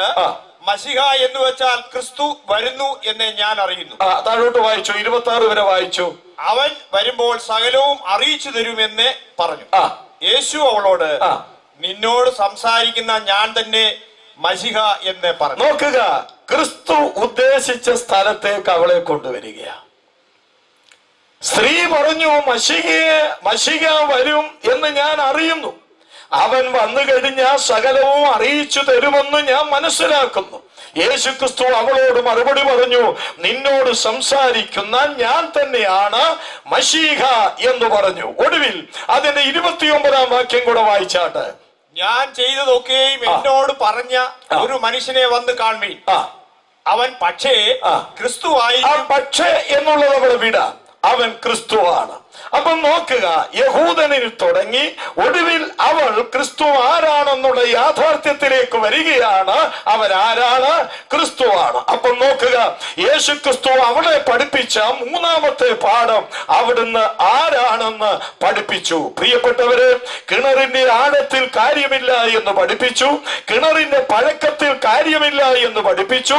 അവിടുന്ന് ആരാണെന്ന് പഠിപ്പിച്ചു. പ്രിയപ്പെട്ടവരെ ഇത്രയും പഠനം വന്നു കഴിഞ്ഞപ്പോൾ ക്രിസ്തു ആരാണെന്ന് പഠിച്ചു കഴിഞ്ഞപ്പോൾ അവളെ ആരാധനയിലേക്ക് ക്രിസ്തു നടത്തുകയാ ചെയ്യുന്നത്. ഇന്ന് രാത്രിയിൽ ഇവിടെ നിന്നുകൊണ്ട് ഒരു വസ്തുത പറയട്ടെ. യേശു ക്രിസ്തു ആരാണെന്നുള്ള പഠനത്തിന്റെ പാരമ്യത്തിലേക്ക് വരുമ്പോഴാണ് യേശു ക്രിസ്തുവിനെ ആരാധിക്കുവാൻ ഒരുവൻ പ്രേരിതനായി തീരുന്നത്. ഇന്ന് രാത്രിയിൽ അത് മനസ്സിലാക്കണം. യേശു ക്രിസ്തു മാത്രം ആരാധ്യ പുരുഷൻ അവിടുത്തെ മാത്രമേ ആരാധിക്കാവൂ.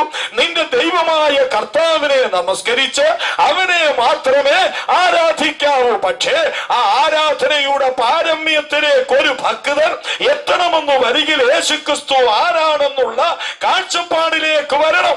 അങ്ങനെ അവൾ വന്നു. വന്നു കഴിഞ്ഞപ്പോൾ അവൾ ചെയ്ത രണ്ട് കാര്യം അടുത്ത വേറെ ഭാഗങ്ങളിൽ പറയുന്നുണ്ട്. മടക്കി വെച്ചുകൊണ്ട് ഞാൻ ആ കാര്യം ഓർപ്പിക്കുക. ഒന്ന് അവൾ കോരുവാൻ കൊണ്ടുവന്ന പാത്രം അവിടെ വെച്ചു. അവർ കോരുവാൻ കൊണ്ടുവന്ന പാത്രം അവിടെ വെച്ചു. എവിടെ വെച്ചു? ഞാൻ ഇങ്ങനെ പറയട്ടെ യേശുവിന്റെ പാദപീഠത്തിൽ വെച്ചു. ആ കോരുവാൻ കൊണ്ടുവന്ന പാത്രം കുടമാണ്. കുടം. ഇപ്പോഴാണ് പ്ലാസ്റ്റിക് കുടം അലുമിനിയം കുടം ഒക്കെ ആയത്. ഒരു കാലഘട്ടത്തിൽ മൺകുടമായിരുന്നു മൺകുടം. എല്ലാവരും മൺകുട ഉപയോഗിച്ചിരുന്ന കാലഘട്ടം ഞാൻ മനസ്സിലാക്കുന്നു.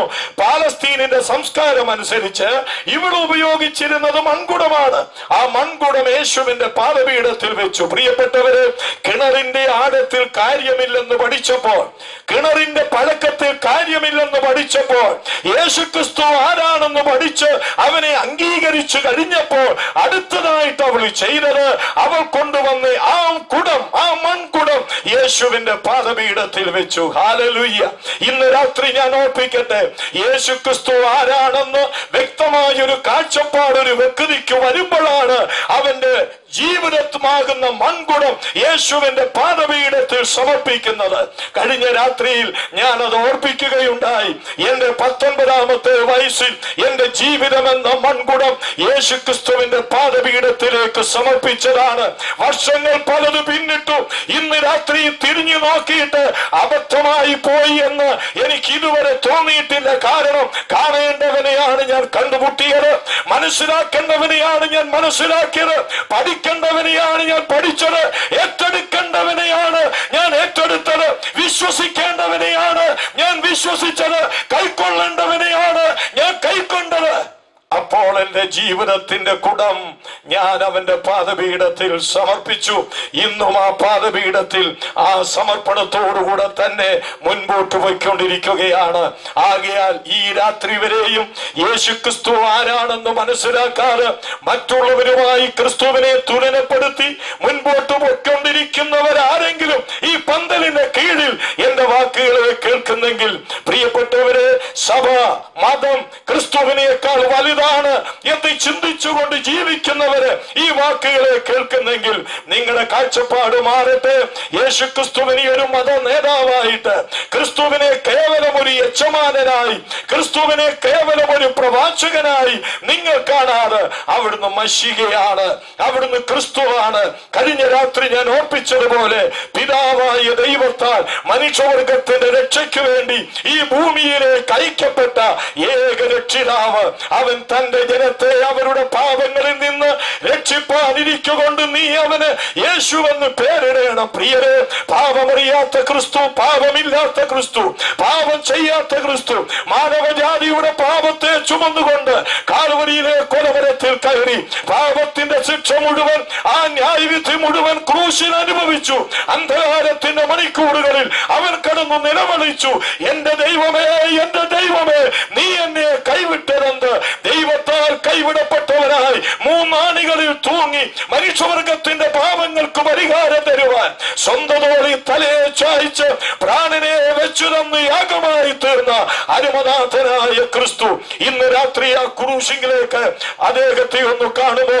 ശിരസിൽ മുക്കിരീടം വെച്ചടിക്കപ്പെട്ടവനായി കവളത്തെ രോമങ്ങൾ പിഴുതുമറിക്കപ്പെട്ടവനായി ദുർഗന്ധം വമിക്കുന്ന തുപ്പൽ മുഖത്തേറ്റവനായി മുട്ടുചുരുട്ടി കുത്തേറ്റവനായി റോമൻ പടയാളികളുടെ ചേട്ടവാറിനാൽ മുതുകടി ചുടുവിജാലികളെ പോലെ നീളത്തിൽ കീറപ്പെട്ടവനായി കൈകളും കാലുകളും ആണികളാൽ തുളയ്ക്കപ്പെട്ടവനായി വിലാപ്പുറ കുന്തത്താൽ കുത്തി കണ്ടാൽ ആളല്ല എന്ന് തോന്നുമാറ്.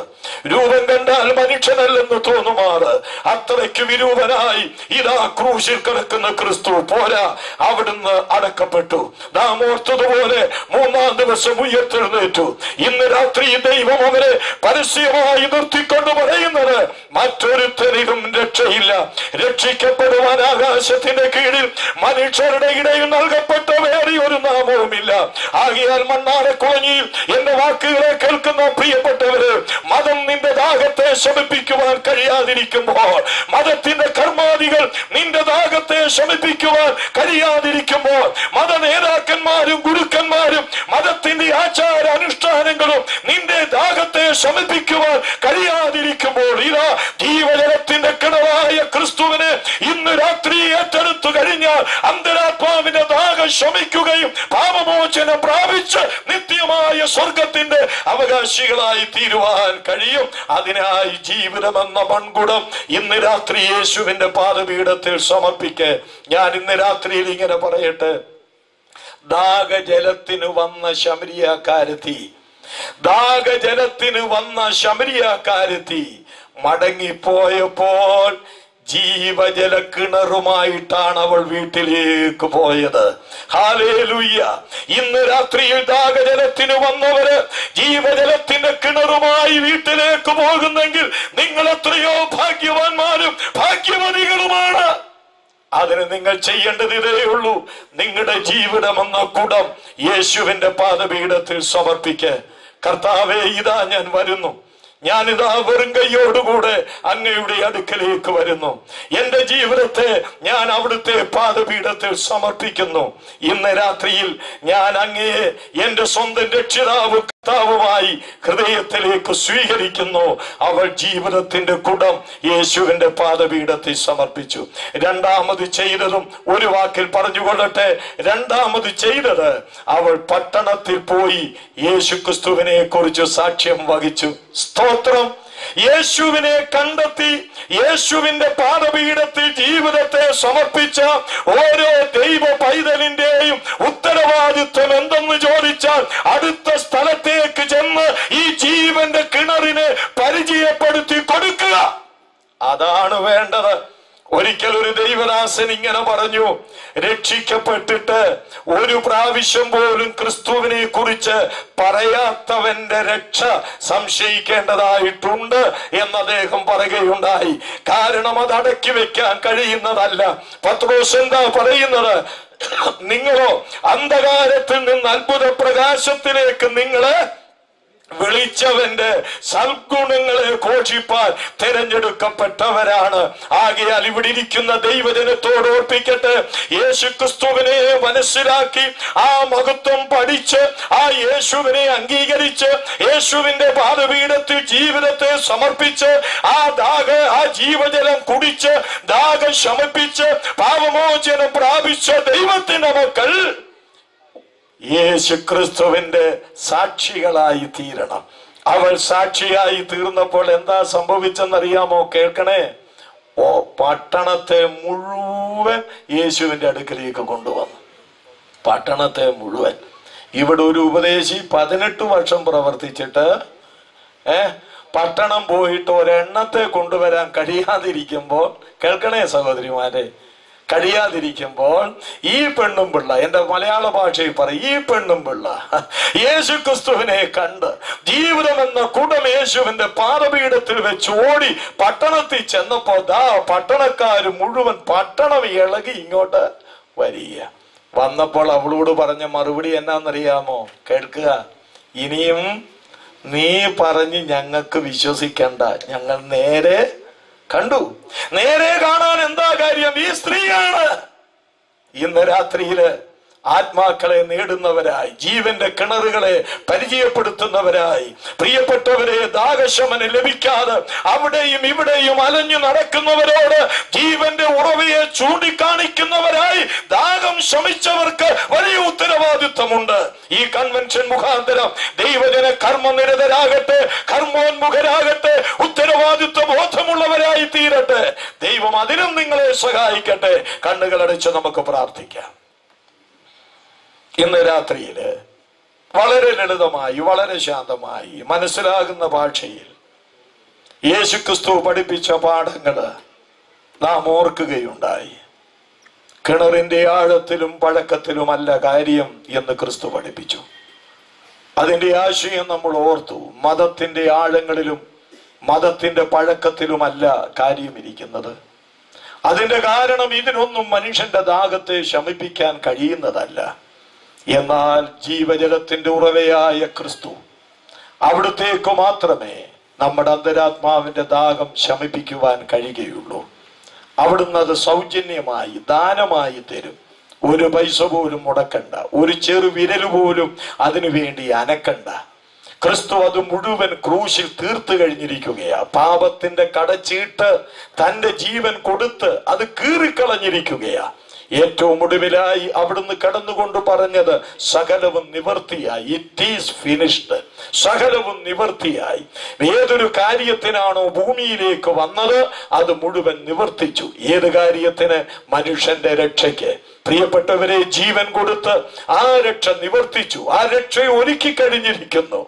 ഓ ഇന്ന് രാത്രിയിൽ ഈ ഈ ശമരിയക്കാരത്തി ചെയ്തതുപോലെ ഏതൊരു വ്യക്തിയുടെ ജീവിതം ക്രിസ്തുവിന്റെ പാദപീഠത്തിൽ സമർപ്പിച്ച് ആ ക്രിസ്തുവിനെ മഷികയായി ക്രിസ്തുവായി ദൈവമായി രക്ഷിതാവായി കർത്താവായി ആരേറ്റെടുക്കുന്നുവോ? ഞാൻ പറയട്ടെ നിങ്ങളുടെ ജീവിതം ധന്യമായി. നിങ്ങളുടെ ജീവിതം അനുഗ്രഹമായി. നിങ്ങളുടെ ജീവിതം മഹത്വകരമായി. നിങ്ങളുടെ ജീവിതം ഏറ്റവും അനുഗ്രഹിക്കപ്പെടപ്പെടുവാനിട വരും ഈ രാത്രിയിൽ ഇന്നു വരെ ജീവിതം ക്രിസ്തുവിന് വേണ്ടി സമർപ്പിക്കാത്ത ആരെങ്കിലും ഒരാൾ ഇവിടെ ഇരിപ്പുണ്ടെങ്കിൽ നിങ്ങൾ അങ്ങോട്ടും ഇങ്ങോട്ടും ഒന്നും നോക്കണ്ട. ഇത് നിങ്ങളുടെ കാര്യമാണ്. നിങ്ങളുടെ നിത്യതയുടെ കാര്യമാണ്. നിങ്ങളുടെ നിത്യജീവന്റെ കാര്യമാ. നിങ്ങളുടെ രക്ഷയുടെ കാര്യമാ. നിങ്ങളുടെ ദാഹം ശമിപ്പിക്കേണ്ട കാര്യമാ. അത് മറ്റുള്ളവരല്ല അതിന് ഉത്തരവാദിത്വം. നിങ്ങൾക്ക് തന്നെയാണ് ഉത്തരവാദിത്വം. അതുകൊണ്ട് ഇരിക്കുന്ന ഇരിപ്പിൽ പുരുഷനാകട്ടെ സ്ത്രീ ആകട്ടെ യുവാവാകട്ടെ യുവതിയാകട്ടെ നിങ്ങൾ ആരുമാകട്ടെ ഏതു സഭക്കാരുമാകട്ടെ ഏതു മതത്തിൽപ്പെട്ടവരുമാകട്ടെ ഇതാ യേശു ക്രിസ്തു അവിടുന്ന് ആരാണ്? അവിടുന്ന് നമ്മുടെ മഷികയാണ് ക്രിസ്തുവാണ്. ദൈവത്താൽ അയക്കപ്പെട്ട രക്ഷിതാവാണ്. നമുക്ക് വേണ്ടി ജീവനെ തന്ന രക്ഷിതാവാണ്. നമുക്ക് വേണ്ടി ഉയർത്തെഴുന്നേറ്റ് ജീവിക്കുന്ന രക്ഷിതാവാണ്. വേറെ ഒരു രക്ഷിതാവില്ല. ആ രക്ഷിതാവ് ശബരിയക്കാര്യത്തിയുടെ അടുക്കൽ ചെന്നതുപോലെ ഇന്ന് രാത്രി നിങ്ങളുടെ ഓരോരുത്തരുടെയും അടുക്കൽ അവിടുന്ന് വന്ന് നിൽക്കുകയാ ചെയ്യുന്നത്. നിൽക്കുക മാത്രമാണോ നിങ്ങളുടെ ഹൃദയത്തിന്റെ ദാവാതുക്കൽ അവിടുന്ന് മുട്ടിക്കൊണ്ടിരിക്കുന്നു. അന്ന് ശമരിയക്കാരത്തിയോട് കുടിപ്പാൻ ചോദിച്ച ക്രിസ്തു ഇന്ന് രാത്രിയിൽ നിങ്ങളുടെ ഹൃദയത്തെ ചോദിക്കുക മകളെ നിന്റെ ഹൃദയം എനിക്ക് വേണ്ടി തരിക. മകനെ നിന്റെ ഹൃദയം എനിക്ക് വേണ്ടി തരിക. ഈ ചോദ്യത്തിന്റെ മുൻപിൽ നിങ്ങളുടെ ജീവിതം ശമരിയക്കാരത്തി ചെയ്തതുപോലെ ആ കുടം പാദപീഠത്തിൽ സമർപ്പിച്ചതുപോലെ നിങ്ങളുടെ ജീവിതം എന്ന മൺപാത്രം ഈ ക്രിസ്തുവിന്റെ പാദപീഠത്തിൽ സമർപ്പിക്കുവാൻ നിങ്ങൾക്ക് മനസ്സാകുന്നുണ്ടോ പ്രിയപ്പെട്ടവരെ? അങ്ങനെയാണെങ്കിൽ ഇന്ന് ക്രിസ്തുവിനായി നിങ്ങളുടെ ഹൃദയത്തെ തുറന്നു കൊടുക്കുക നിങ്ങൾ നിങ്ങളുടെ തലമുറകളും അനുഗ്രഹിക്കപ്പെടട്ടെ. ഈ ക്രിസ്തു വേഗം വരാൻ പോകുക. ക്രിസ്തുവിന് വേണ്ടി ജീവിതം സമർപ്പിച്ചവരെ ക്രിസ്തുവിനെ ഹൃദയത്തിൽ ഏറ്റെടുത്തവരെ ദൈവമക്കളായി തീർത്തവരെ പാപമോചനം പ്രാപിച്ചവരെ തന്റെ അടുക്കിലേക്ക് ചേർക്കാൻ യേശു ക്രിസ്തു വേഗം വരാൻ പോകുക. അവിടുന്ന് വരുന്നതിന് മുൻപ് ഇന്ന് ഇന്ന് രാത്രി തന്നെ നിങ്ങളുടെ രക്ഷാ ദിവസമാകട്ടെ. ആകയാൽ കണ്ണുകളടച്ച് പ്രാർത്ഥിച്ചു കൊണ്ടിരിക്കുമ്പോൾ നിങ്ങളിൽ ഒരാളെങ്കിലും ആരെങ്കിലുമൊക്കെ എനിക്ക് ഈ ക്രിസ്തുവിനെ വേണം.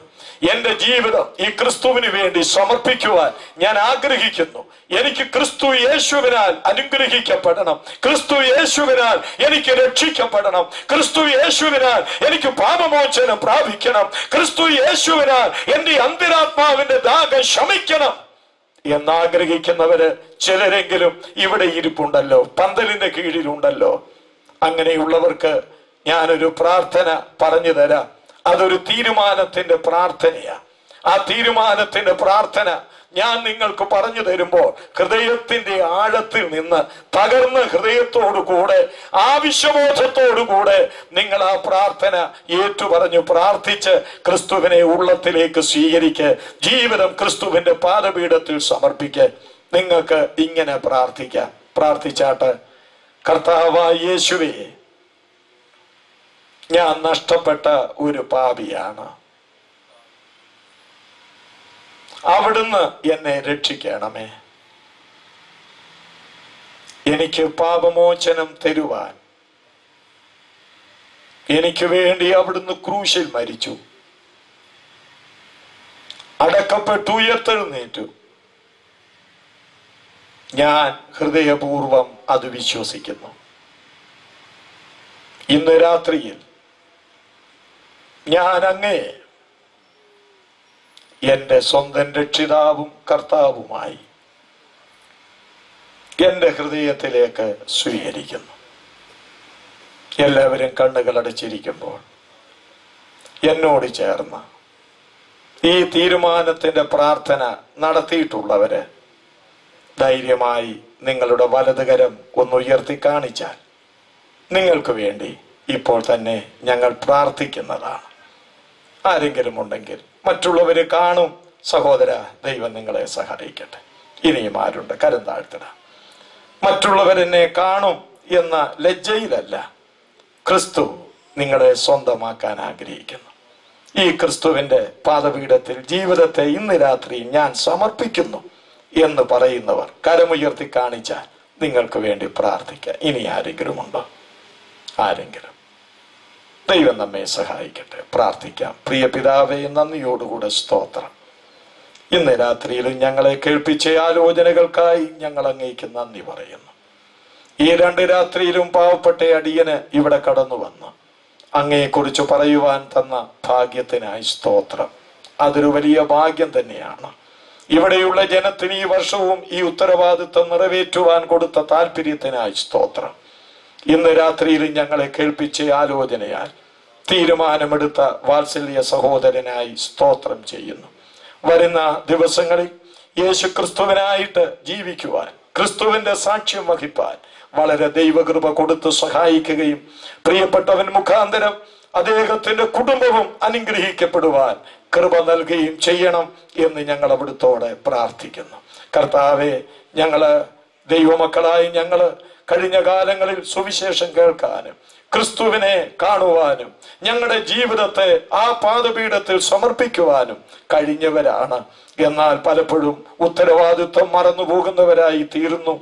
ആ ശമരിയക്കാരിത്തിയെ പോലെ ഞങ്ങളുടെ സമീപ സ്ഥലങ്ങളിലേക്ക് കടന്നു എന്ന് ജീവന്റെ കിണറായിരിക്കുന്ന അങ്ങേ മറ്റുള്ളവർക്ക് പരിചയപ്പെടുത്തി അവരും വന്ന് അന്തരാത്മാവിന്റെ ദാഹത്തെ ശമിപ്പിക്കത്തക്കവണ്ണം ജീവജലം വാങ്ങി കുടിക്കേണ്ടതിന് ഞങ്ങളെ ഉപയോഗിക്കണമേ എന്നും ഞങ്ങൾ അവിടുത്തോടെ പ്രാർത്ഥിക്കുന്നു. ഇന്ന് രാത്രിയിൽ അവിടുന്ന് വേഗം വരുന്നത് കൊണ്ട് സ്തോത്രം.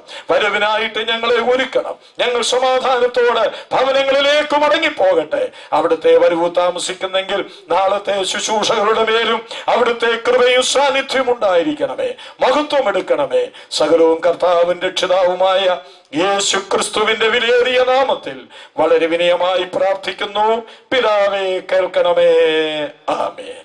നമ്മുടെ കർത്താവായ യേശു ക്രിസ്തുവിന്റെ കൃപയും പിതാവായ ദൈവത്തിന്റെ സ്നേഹവും ആശ്വസിപ്പിക്കുന്ന പരിശുദ്ധാത്മാവിന്റെ കൂട്ടായ്മയും സഹവാസവും നാം ഏവരുടെ മേലും പ്രാർത്ഥിച്ച എല്ലാ വിഷയങ്ങളുടെ മേലും തീരുമാനമെടുത്ത വാത്സല്യ സഹോദരന്റെ മേലും കർത്താവായ യേശുവിനെ അക്ഷയമായി സ്നേഹിക്കുന്ന സകല വിശുദ്ധന്മാരുടെ മേലും ഇപ്പോഴും അന്നേക്കും നമ്മുടെ കർത്താവിന്റെ വരുവരെയും ഉണ്ടായിരിക്കുമാറാകട്ടെ.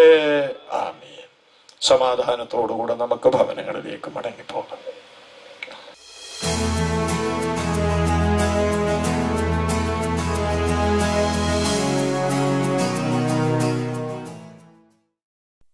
Presented by BrethrenNews.com.